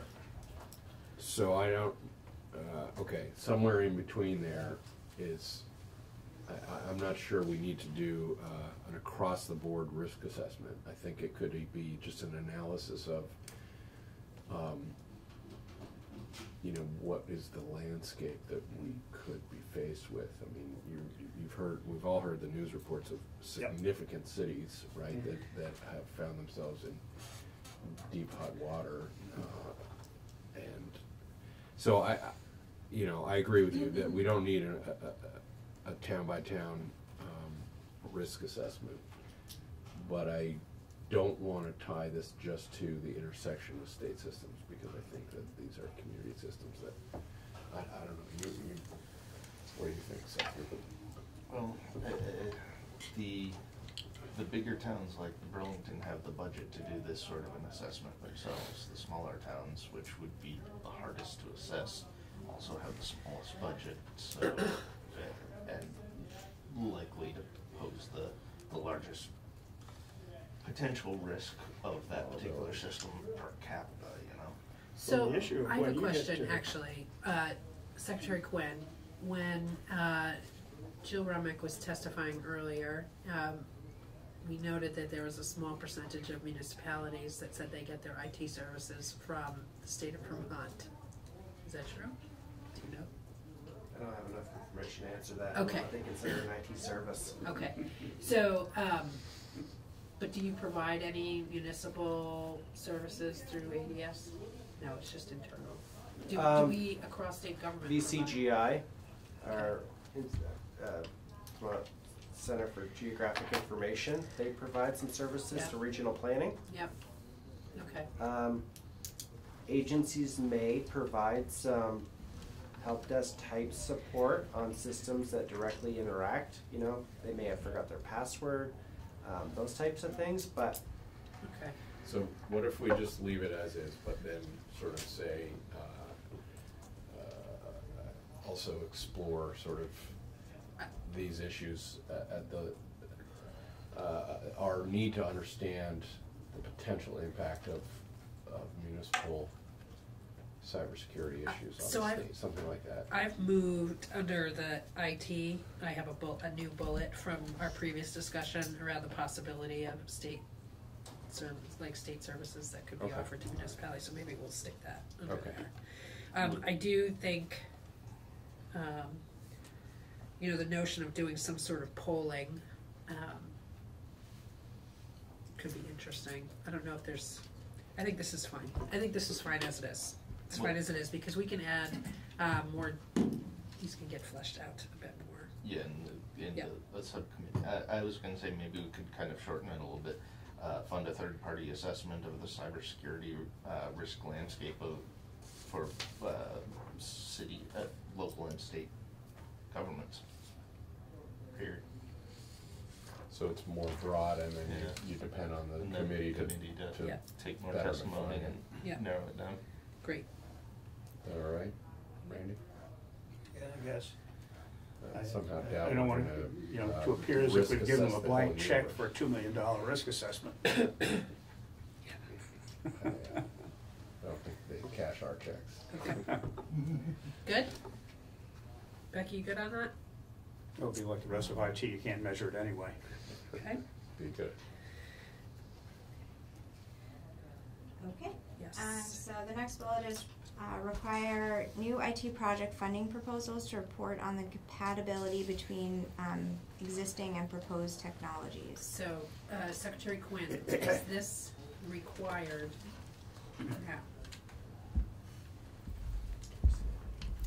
Um, if there's a a, if there's a funding proposal for a new IT project, uh, there has to be a report on whether there's compatibility between existing and proposed technologies. So in statute now, uh, the Agency of Digital Services is responsible for choosing the technology solution, Yeah. which puts it all in my agency, right? So the compatibility is looked at by our enterprise architecture. I don't think it necessarily needs to go into law. I mean, there's only one IT group, so the compatibility um, is, is looked at as part of the process. And we, we don't, we wouldn't let someone go forward with something if it didn't make sense for the state as far as compatibility to other systems, unless if the business case was there where we had to do something because of a mandate or, or Okay. some other reason. But we're So- looking to build best practices here, not rely on what a good job you do, which is absolutely. Right, but I guess what I'm saying is it's in law already by giving ADS the. It is in law already. ADS The is ADS responsible has for the to- technology solutions. So you have to report on that to the legislature. So this, I'm Yeah, thinking we were- specifically, you're coming with a funding proposal that you, yeah, I guess, okay. Yeah. Does Okay. seem- All right, then let's take that out. Yeah. Take it out? Mm. Okay. Okay, uh, the next would be the creation of a joint cybersecurity council to plan and oversee cooperation and communication on cybersecurity issues between the three branches of government. Uh, so I would like to leave that in. Um, I know that the three branches are working, and I would love for them to, um, you know, maybe just explain, it, just to continue, um, forward into the session with that. Yep, go ahead, Senator Pearson. Well, um, I think this makes sense, but I wonder if we could come a little short of sort of urging the creation, but rather like look, just, just sort of, ex- I think this is a good conversation for the committees to have.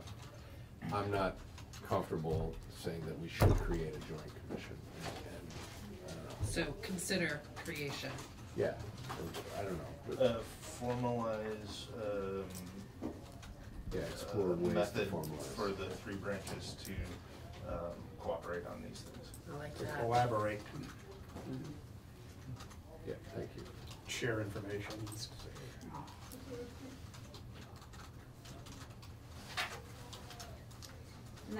I was going to add on to that, if it, if it is the creation of something, it might make sense to put it into the bullet point, um, relating to the cybersecurity bill, because it would have to be created in legislation, although it sounds like now you don't want legislation on it. Well, mm-hmm. where's the cybersecurity? I, I mean, I think we need a plan to, to do all of these things. I'm just, I, I'm a little uncomfortable being, saying, we've met and discussed it, and we think there needs to be a joint cybersecurity council. That, that's, Yeah. does that make sense? Uh, I So, like keeping it a little bit more loose, like formalize it, and I, I'd be okay with like a, I don't know, a joint memo from all the heads of the IT teams of all three branches saying, hey, here's what our best practices are and what we're gonna do. We I don't think need they're to- working on MOUs. Yeah. Yeah. Or at least some of them are. so what, so does, I- you wanted, you were suggesting we include it somewhere else? If you were gonna keep it as is, it's, it looks, to create a council would be something you'd have to do in law. So I thought it might fit into the bullet point on recommending to, it sounds like the House Energy and Technology is thinking about doing a cybersecurity bill, so it might be something that would Yes. fit into that bill if it is something you would like in law. Yes. What, and that's probably where we would figure that out, whether that's necessary or not. But for now, I'll just keep it more informal. I think that's fine, and we wanted to make it consider as opposed to create, is that right? Kevin, we were just spent, what, half of yesterday in the Sunset Advisory Commission getting rid of IT councils. Yeah. We don't want to create more. Uh, okay, are you good? Yep. Okay. Next is um, assessing and reporting on vulnerabilities that legislators pose to the state systems and um, recommending some sort of periodic training for legislators on cybersecurity. So I would like that to be an end goal, that there is a recommendation on periodic training for legislators on cybersecurity. So is that really a direction to the, actually don't know what they're called now, that they're, the, the new legislative IT department to do this?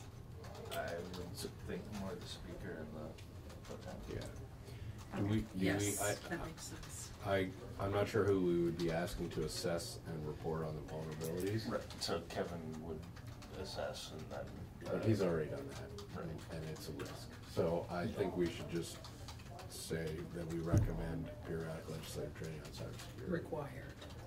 Yeah, We required, require- yes, yes, recommend required legislative, yeah, and it- the periodic is sort of baked in, I would have thought. But I'm not sure we need, they are already assessing and reporting on all of this. And, yeah, okay, So, uh, but, let's take that it off. doesn't really matter. Uh, but one of the things Kevin said was that, uh, he, uh, for privacy reasons, couldn't really share any of the info, so do we need to come up with something that says, if you're posing a risk to a system, you are no longer expecting a right of privacy? Um, so that that can be specifically addressed.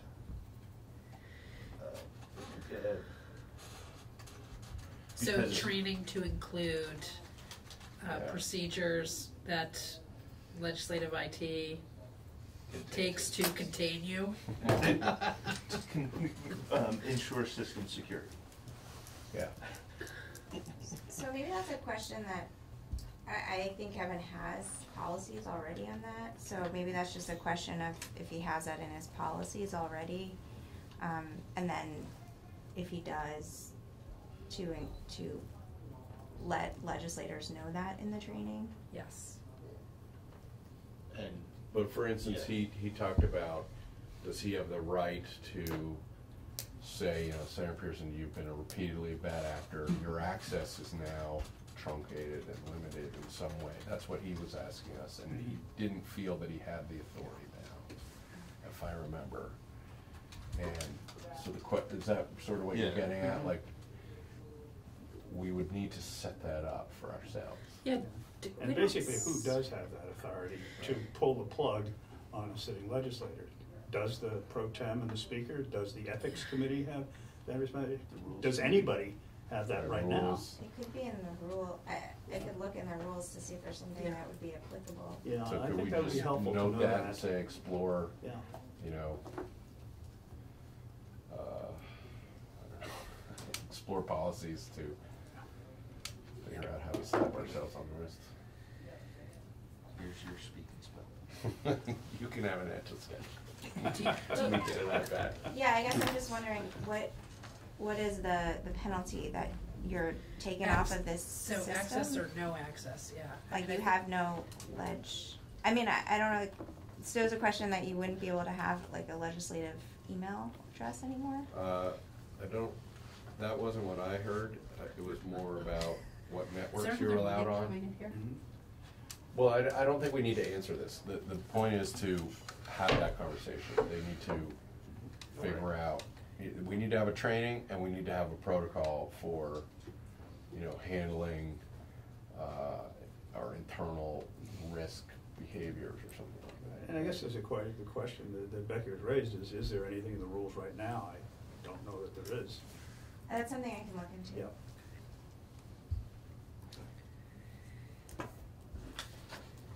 Uh, okay. The next is evaluating the need and cost for a legislative expert, and this is similar to what Dan Smith does. And this could either be an individual or a firm um, that would provide some cybersecurity technical assistance to the legislature.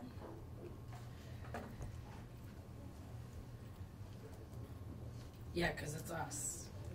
You know, saying John's doing a good job or not. You know, and Jeff. You know, I feel like it would be we need some technical assistance. Get more people like me.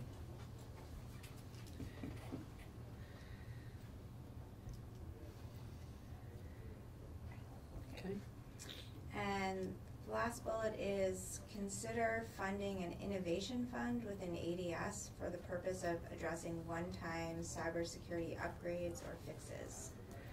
So I've put this in here because I believe that most of ADS, I think all of your funding Oh, is that's billed right. back, right? It's all like, Yeah, like point zero zero one percent is general fund, right. directly. Right, right. And- People So that's comfortable with hard that? for you to be proactive, is that what I'm looking at? Yeah, so it's hard to, so we can see two hundred case management systems out there, but it's hard for us to build something in advance and say, hey, come here. We have to wait till there's a project started and then try to build it into an enterprise solution as, Okay. you know, things are trying to So have happen. we, have we described this right here with this? No. Yeah. We have not described it well. Is that what you said? No, I mean, an innovation fund and, um, one-time security money is, one-time money overall honestly really doesn't help me all that much because of the models that IT has moved to. They're all subscription-based, so whether we're buying an endpoint protection that's gonna help desktop, um, stay secure, those are yearly costs. Those aren't, there are very few one-time costs. We did that with the, the hardware that we bought last year. There was BAA money, one, one-time BAA money, that worked. But again, we're gonna, we're gonna come back into that five or six years from now. So what would we change this to, create an annually? Do you want it focused on cybersecurity or innovation? I see. Okay. I was gonna say, uh, consider funding an innovation fund within the Agency of Digital Services for the purpose of, um, systems upgrades and so forth. Uh, Modernization. Yeah, um, so it's not tied to a specific. Systems topic. upgrade and Would it be that, modernization. or would it be, uh, would the focus be on standards, modernization standards established by the Agency of Digital Services that should be applied throughout state government, uh, with particular emphasis on cybersecurity, and just simply provide a fund for that purpose? That But seems like somewhere a separate thing, but. But, but somewhere, I mean, it's, it's, I would think it would be standards-driven, what, what you're doing. You're trying to do something that would apply a standard, and here we talk about cybersecurity across state government. And the problem that you have in, in implementing it right now is be, you, you- you typically can't do anything unless a particular agency or organization is gonna upgrade that particular system. So it makes it very, very difficult to apply something across the board. Is that, Yeah. I think, what you're saying? Yeah, I think, I think you're right, you know, we have standards that are, um, that we're gonna be talking about with judiciary and the legislature in the next couple of weeks, we have a meeting set, but in that are, are some goals, really, there's standards, but we know that there's some of them that we don't make. And there's money that are, that's needed in order to get to that standard, so that line of thinking, yeah, we would use money to, to fund us getting to that standard right? You know, the, the different technologies that are needed, but it's not, none of, they're not one-time things. That's, that's the struggle. There's not, there's nothing in your appropriation statute that prohibits you from getting a budget line item, right?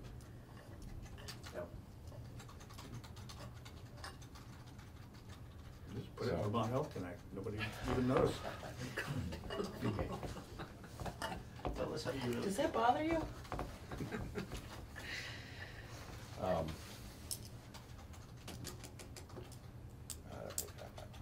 I mean, I'm sympathetic to this, and I, you know, Let's go.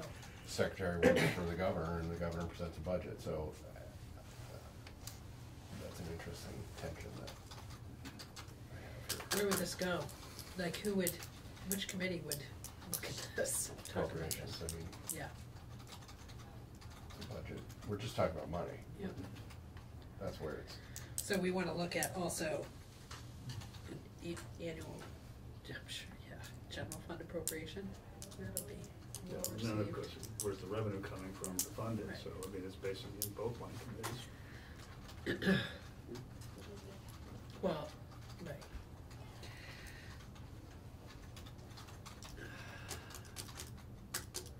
Yeah. well, we can I ask think people to let's leave it consider here and funding, let, I let, mean, let's, let this conversation, I think it'll percolate out.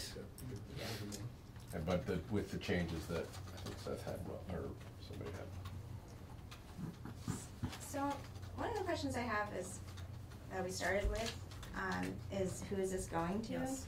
So, there's a lot of talk of the committees of jurisdiction, but at this point, it almost seems like it's, it's a lot of the committees, so it's, you know, appropriations, um, energy and technology, GovOps potentially, Yes. economic development, Yes. um, did I say institutions? No, Um, probably. uh, yeah, education. So, is it? Yeah, who, do you want to specify the committees Yes. still? Yeah, Okay. I think so, and I think I'd like to try and maybe break it up by committee.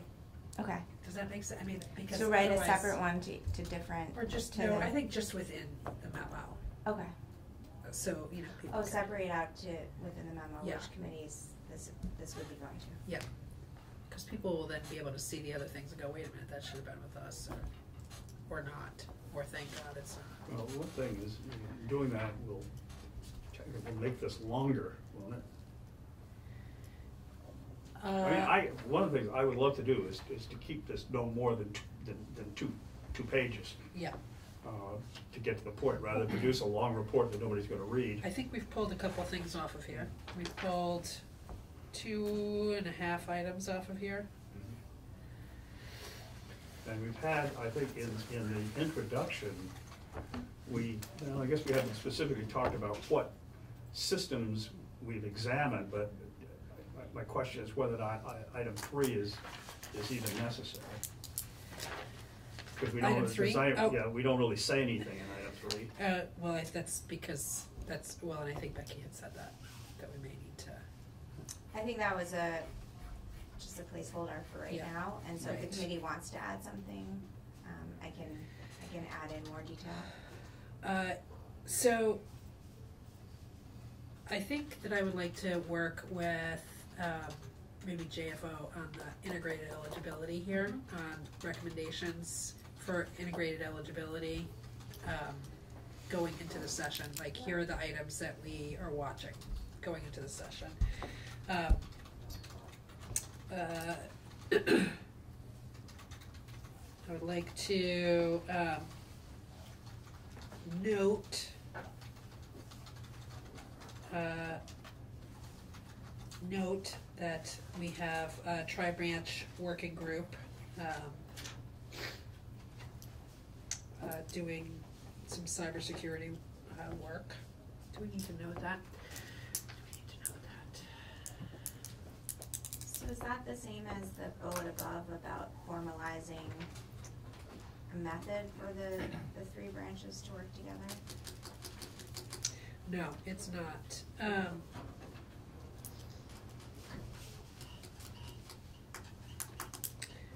I think we wanna check in with the, um, tri-branch working group on, we recommend periodically checking in with them on any, uh, outstanding or new cyber issues.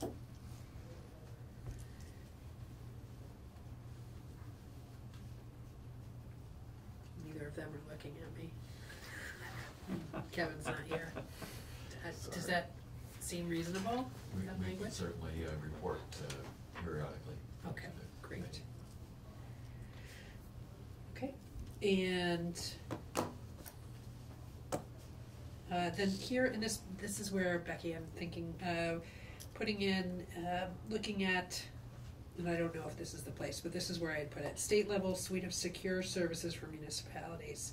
Um, we need to understand, I think, uh, to what level, maybe this is above and not the status of information IT projects. To what extent BGS is offering this already? Um, municipal BGS? service. BGS? Isn't that, yeah, that was, um, Buildings and General Services Procurement. Oh, procurement, okay. yeah. Well, and, and maybe we shouldn't limit ourselves because it might come from other places too. Okay. Agency of Ed or whatever, I don't know. So we have the list of interactions. So who's providing i- municipal, is this under IT projects? I don't think it is under IT projects. No, I don't think it is. but- Okay, I think this is gonna go up to a bullet. So, um, consider, do you wanna take a stab at it? Well, it, I'll take a non, Non-committal. specific wording status, but uh, to me, we want to understand what there is and explore if there are, are, you know, opportunities, or we should, we should think about opportunities for the so-called suite. So, Of municipal IT services that would provide greater security to Vermonters' and, data. and, and, and cost saving, potential savings. Yes. So it's a, it's an explore, it's understand the universe and explore if there's wisdom. Who is that? Is that GovOps? That's GovOps, I think. I think, what do you think? Right? Seem reasonable? I'm looking at Karen. I'm glad you agree. I think so, yes. Uh, are there other IT project recommendations that we have, uh, looked at here that we should be making? We should be talking about? I think, I think the integrated eligibility is gonna be significant, so, What, what's the timeline? I mean, we all have bill drafting requests and stuff, so what is your expectation of when we send this out? so we talked about committee bills can be Those are drafted later. till like Oh, March, okay. right? Yeah. So, I think I- if we. I'd have to check the deadline, but it's, it's Yeah. not in December. Yeah.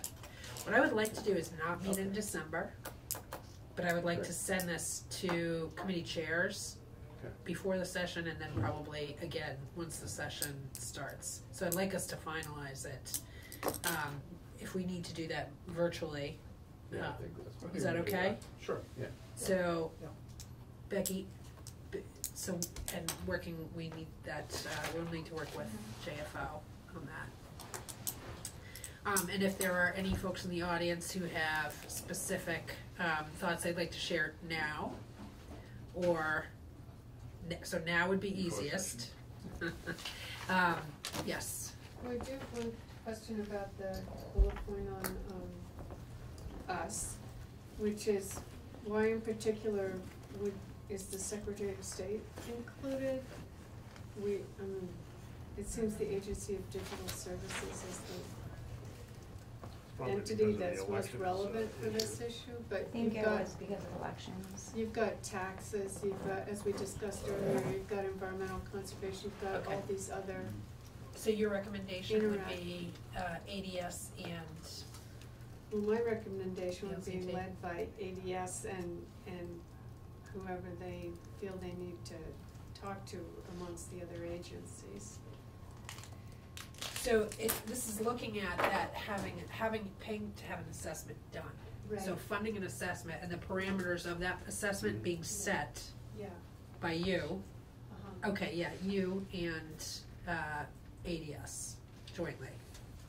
Yeah, I mean, that, that. And not the Secretary of State, is what you're saying. Well, it seems the Secretary of State's just calling out one particular element where we interface with, both- with the state. So, he- for, so I am not sure if there are other aspects on here that have, uh, se- so Secretary of State has their own cyber security. They're responsible for the security of their systems. That's so we right. work- We work pretty closely with them, um, sharing back and forth because they, they traverse our network, a lot of their systems. Okay. So do you feel like this is, AD yeah. that, that was, Adding ADS would be fine, I mean, because there's the treasurer's office, there's Secretary of State's office, there's multiple other.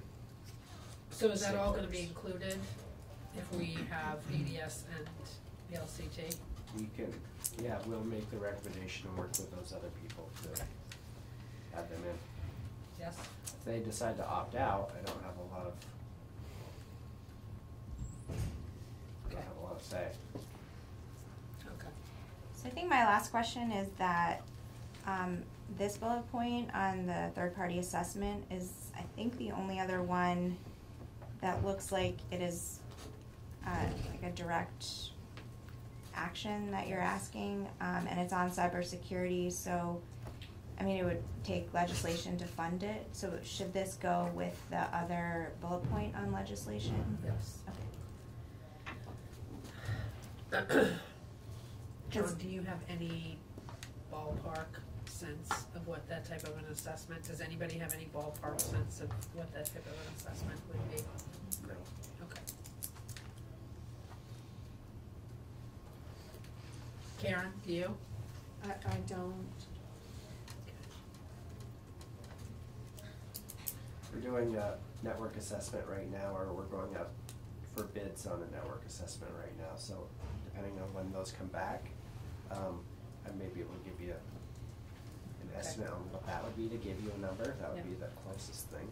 Okay. But it depends on how in-depth, if you're talking about particular systems, or if you're talking about each application, or Yep. having assessments done, that's way different than having a perimeter assessment done Okay.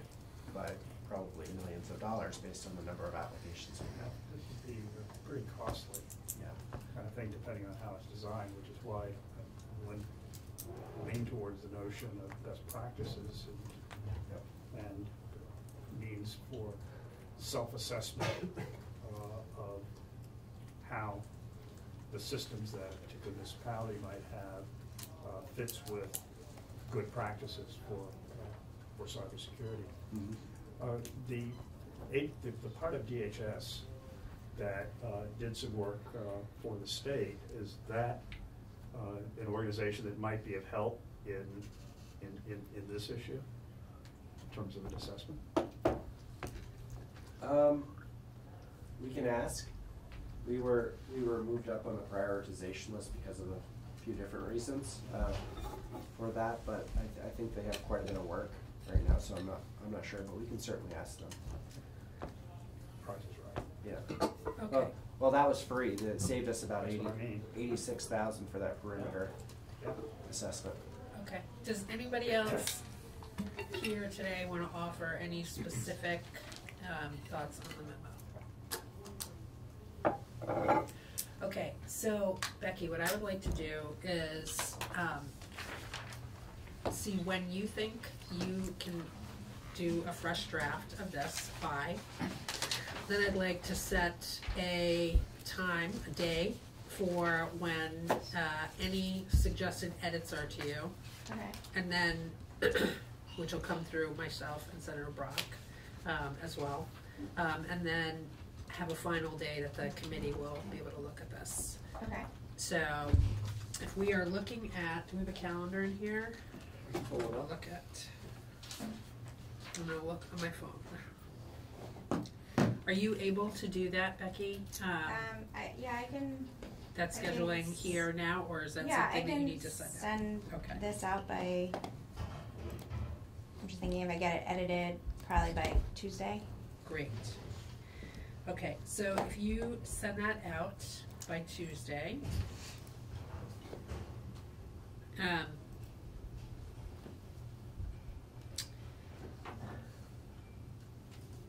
And, uh, let's make sure that it goes to, um, JFO, VLCT, uh, judiciary, legislative, and administrative, uh, ADS.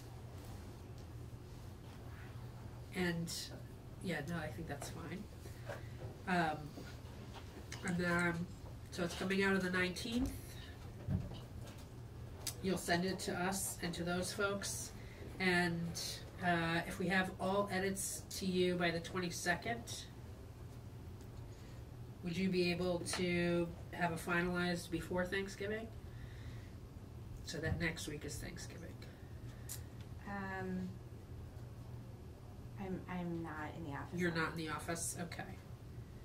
So, uh, December third? Anybody wanna flag any issues there before December third? Okay. So December third, we'll have a final, and then we will get that out to, uh, the speaker of the pro tem and, um, All the chairs. committees, all, all of the chairs. Yeah, Yeah. Yes, okay, great. What exactly are we gonna do on December third, is just simply have the memo? Becky will have, Becky will have the last draft done. Okay. So- You email it to us and we can All right, sign off that. Yes, yes. Great, thank you, Becky. Um, that's good. We have two other items. Um, one really quickly, um, is, uh, committee scheduling during the session. So I feel like we have to meet during the session. Okay, I will, my preference would be to send out a doodle poll of date and time, and I'm guessing that mornings are gonna get really competitive. I- What, yeah, I mean, y- you're gonna run into what we ran into last year. I, Yeah. I don't know how we can do it any better than the two of you trying to figure it out. I okay, mean, if great, fine. And then. And there will be Senator some Brock's days in the where. Same Yeah. misery that I'm in and Yeah. Okay. Senator Kitchel, you guys have all your. Then the last item, um, I just wanna make sure you all are aware, we've had, we have arranged for, um, you have this. Uh, Norwich actually brought this forward. Cybersecurity awareness training for officials and senior management. This class is specifically intended for, uh, elected officials and others who have to provide oversight for cybersecurity. Uh, It's a four-hour class being presented by FEMA, uh, Texas A&M, a number of others. It's gonna be offered to uh, legislators and judiciary first. Uh, There are two classes. This is taking place on the sixteenth. Yep, so there'll be a morning class and an afternoon class. Uh, Mike is gonna receive and coordinate all of the RSVPs for this. Uh, Judiciary, I think, may have up to ten that go, or, you know, I've, I've spoken to the speaker, um, Senator Brock will Yeah. speak to the pro tem. Uh, we're hoping to see a decent turnout from legislators. Uh, and then we will be offering this to VLCT, um, for town, town administrators or folks that are, um, that have to make decisions. Um, the plan right now is to have Mike send this out to all members on Monday. Uh, with the map, this is at Norwich that this is taking place. Um, and then, and open it to judiciary on Monday. And then on Wednesday, uh, have VLCT come in, so we'll work on the specific, um, I, I will give you the specific words for that email. So we'll have two days and our colleagues will have a couple of days to hold. Head the start, seat. yeah. Yeah, and let's make sure that It- we it do not may be a send this tricky day out, for me, though, Mike, on Monday until, uh, we've had an acknowledgement back from the pro tem, because although the speaker has it and is aware of it, the pro tem is not. I think we And want so to stay on you'll the same make page. him aware of that I'll do that today? today, Okay, great, assuming I can get a hold of him. yeah. I had both of them in here yesterday afternoon. Should've done that. Um, any questions on this from anybody? Are Good, you Karen? Both planning to go- be there? Yes. Yes. I, I, the day, it might be tricky for me, but. I think it's a pretty Yeah. good opportunity, um, especially for our colleagues, um, to go. I think it's, I, I personally have been fairly alarmed at what we don't know, so. Okay, I, Influences a vision, strategy, and the Yeah. costs involved. yeah. Okay, I think that's it. Thank you very much. So we started late and we're ending late. Oh, That's all right. You're off the record. Okay.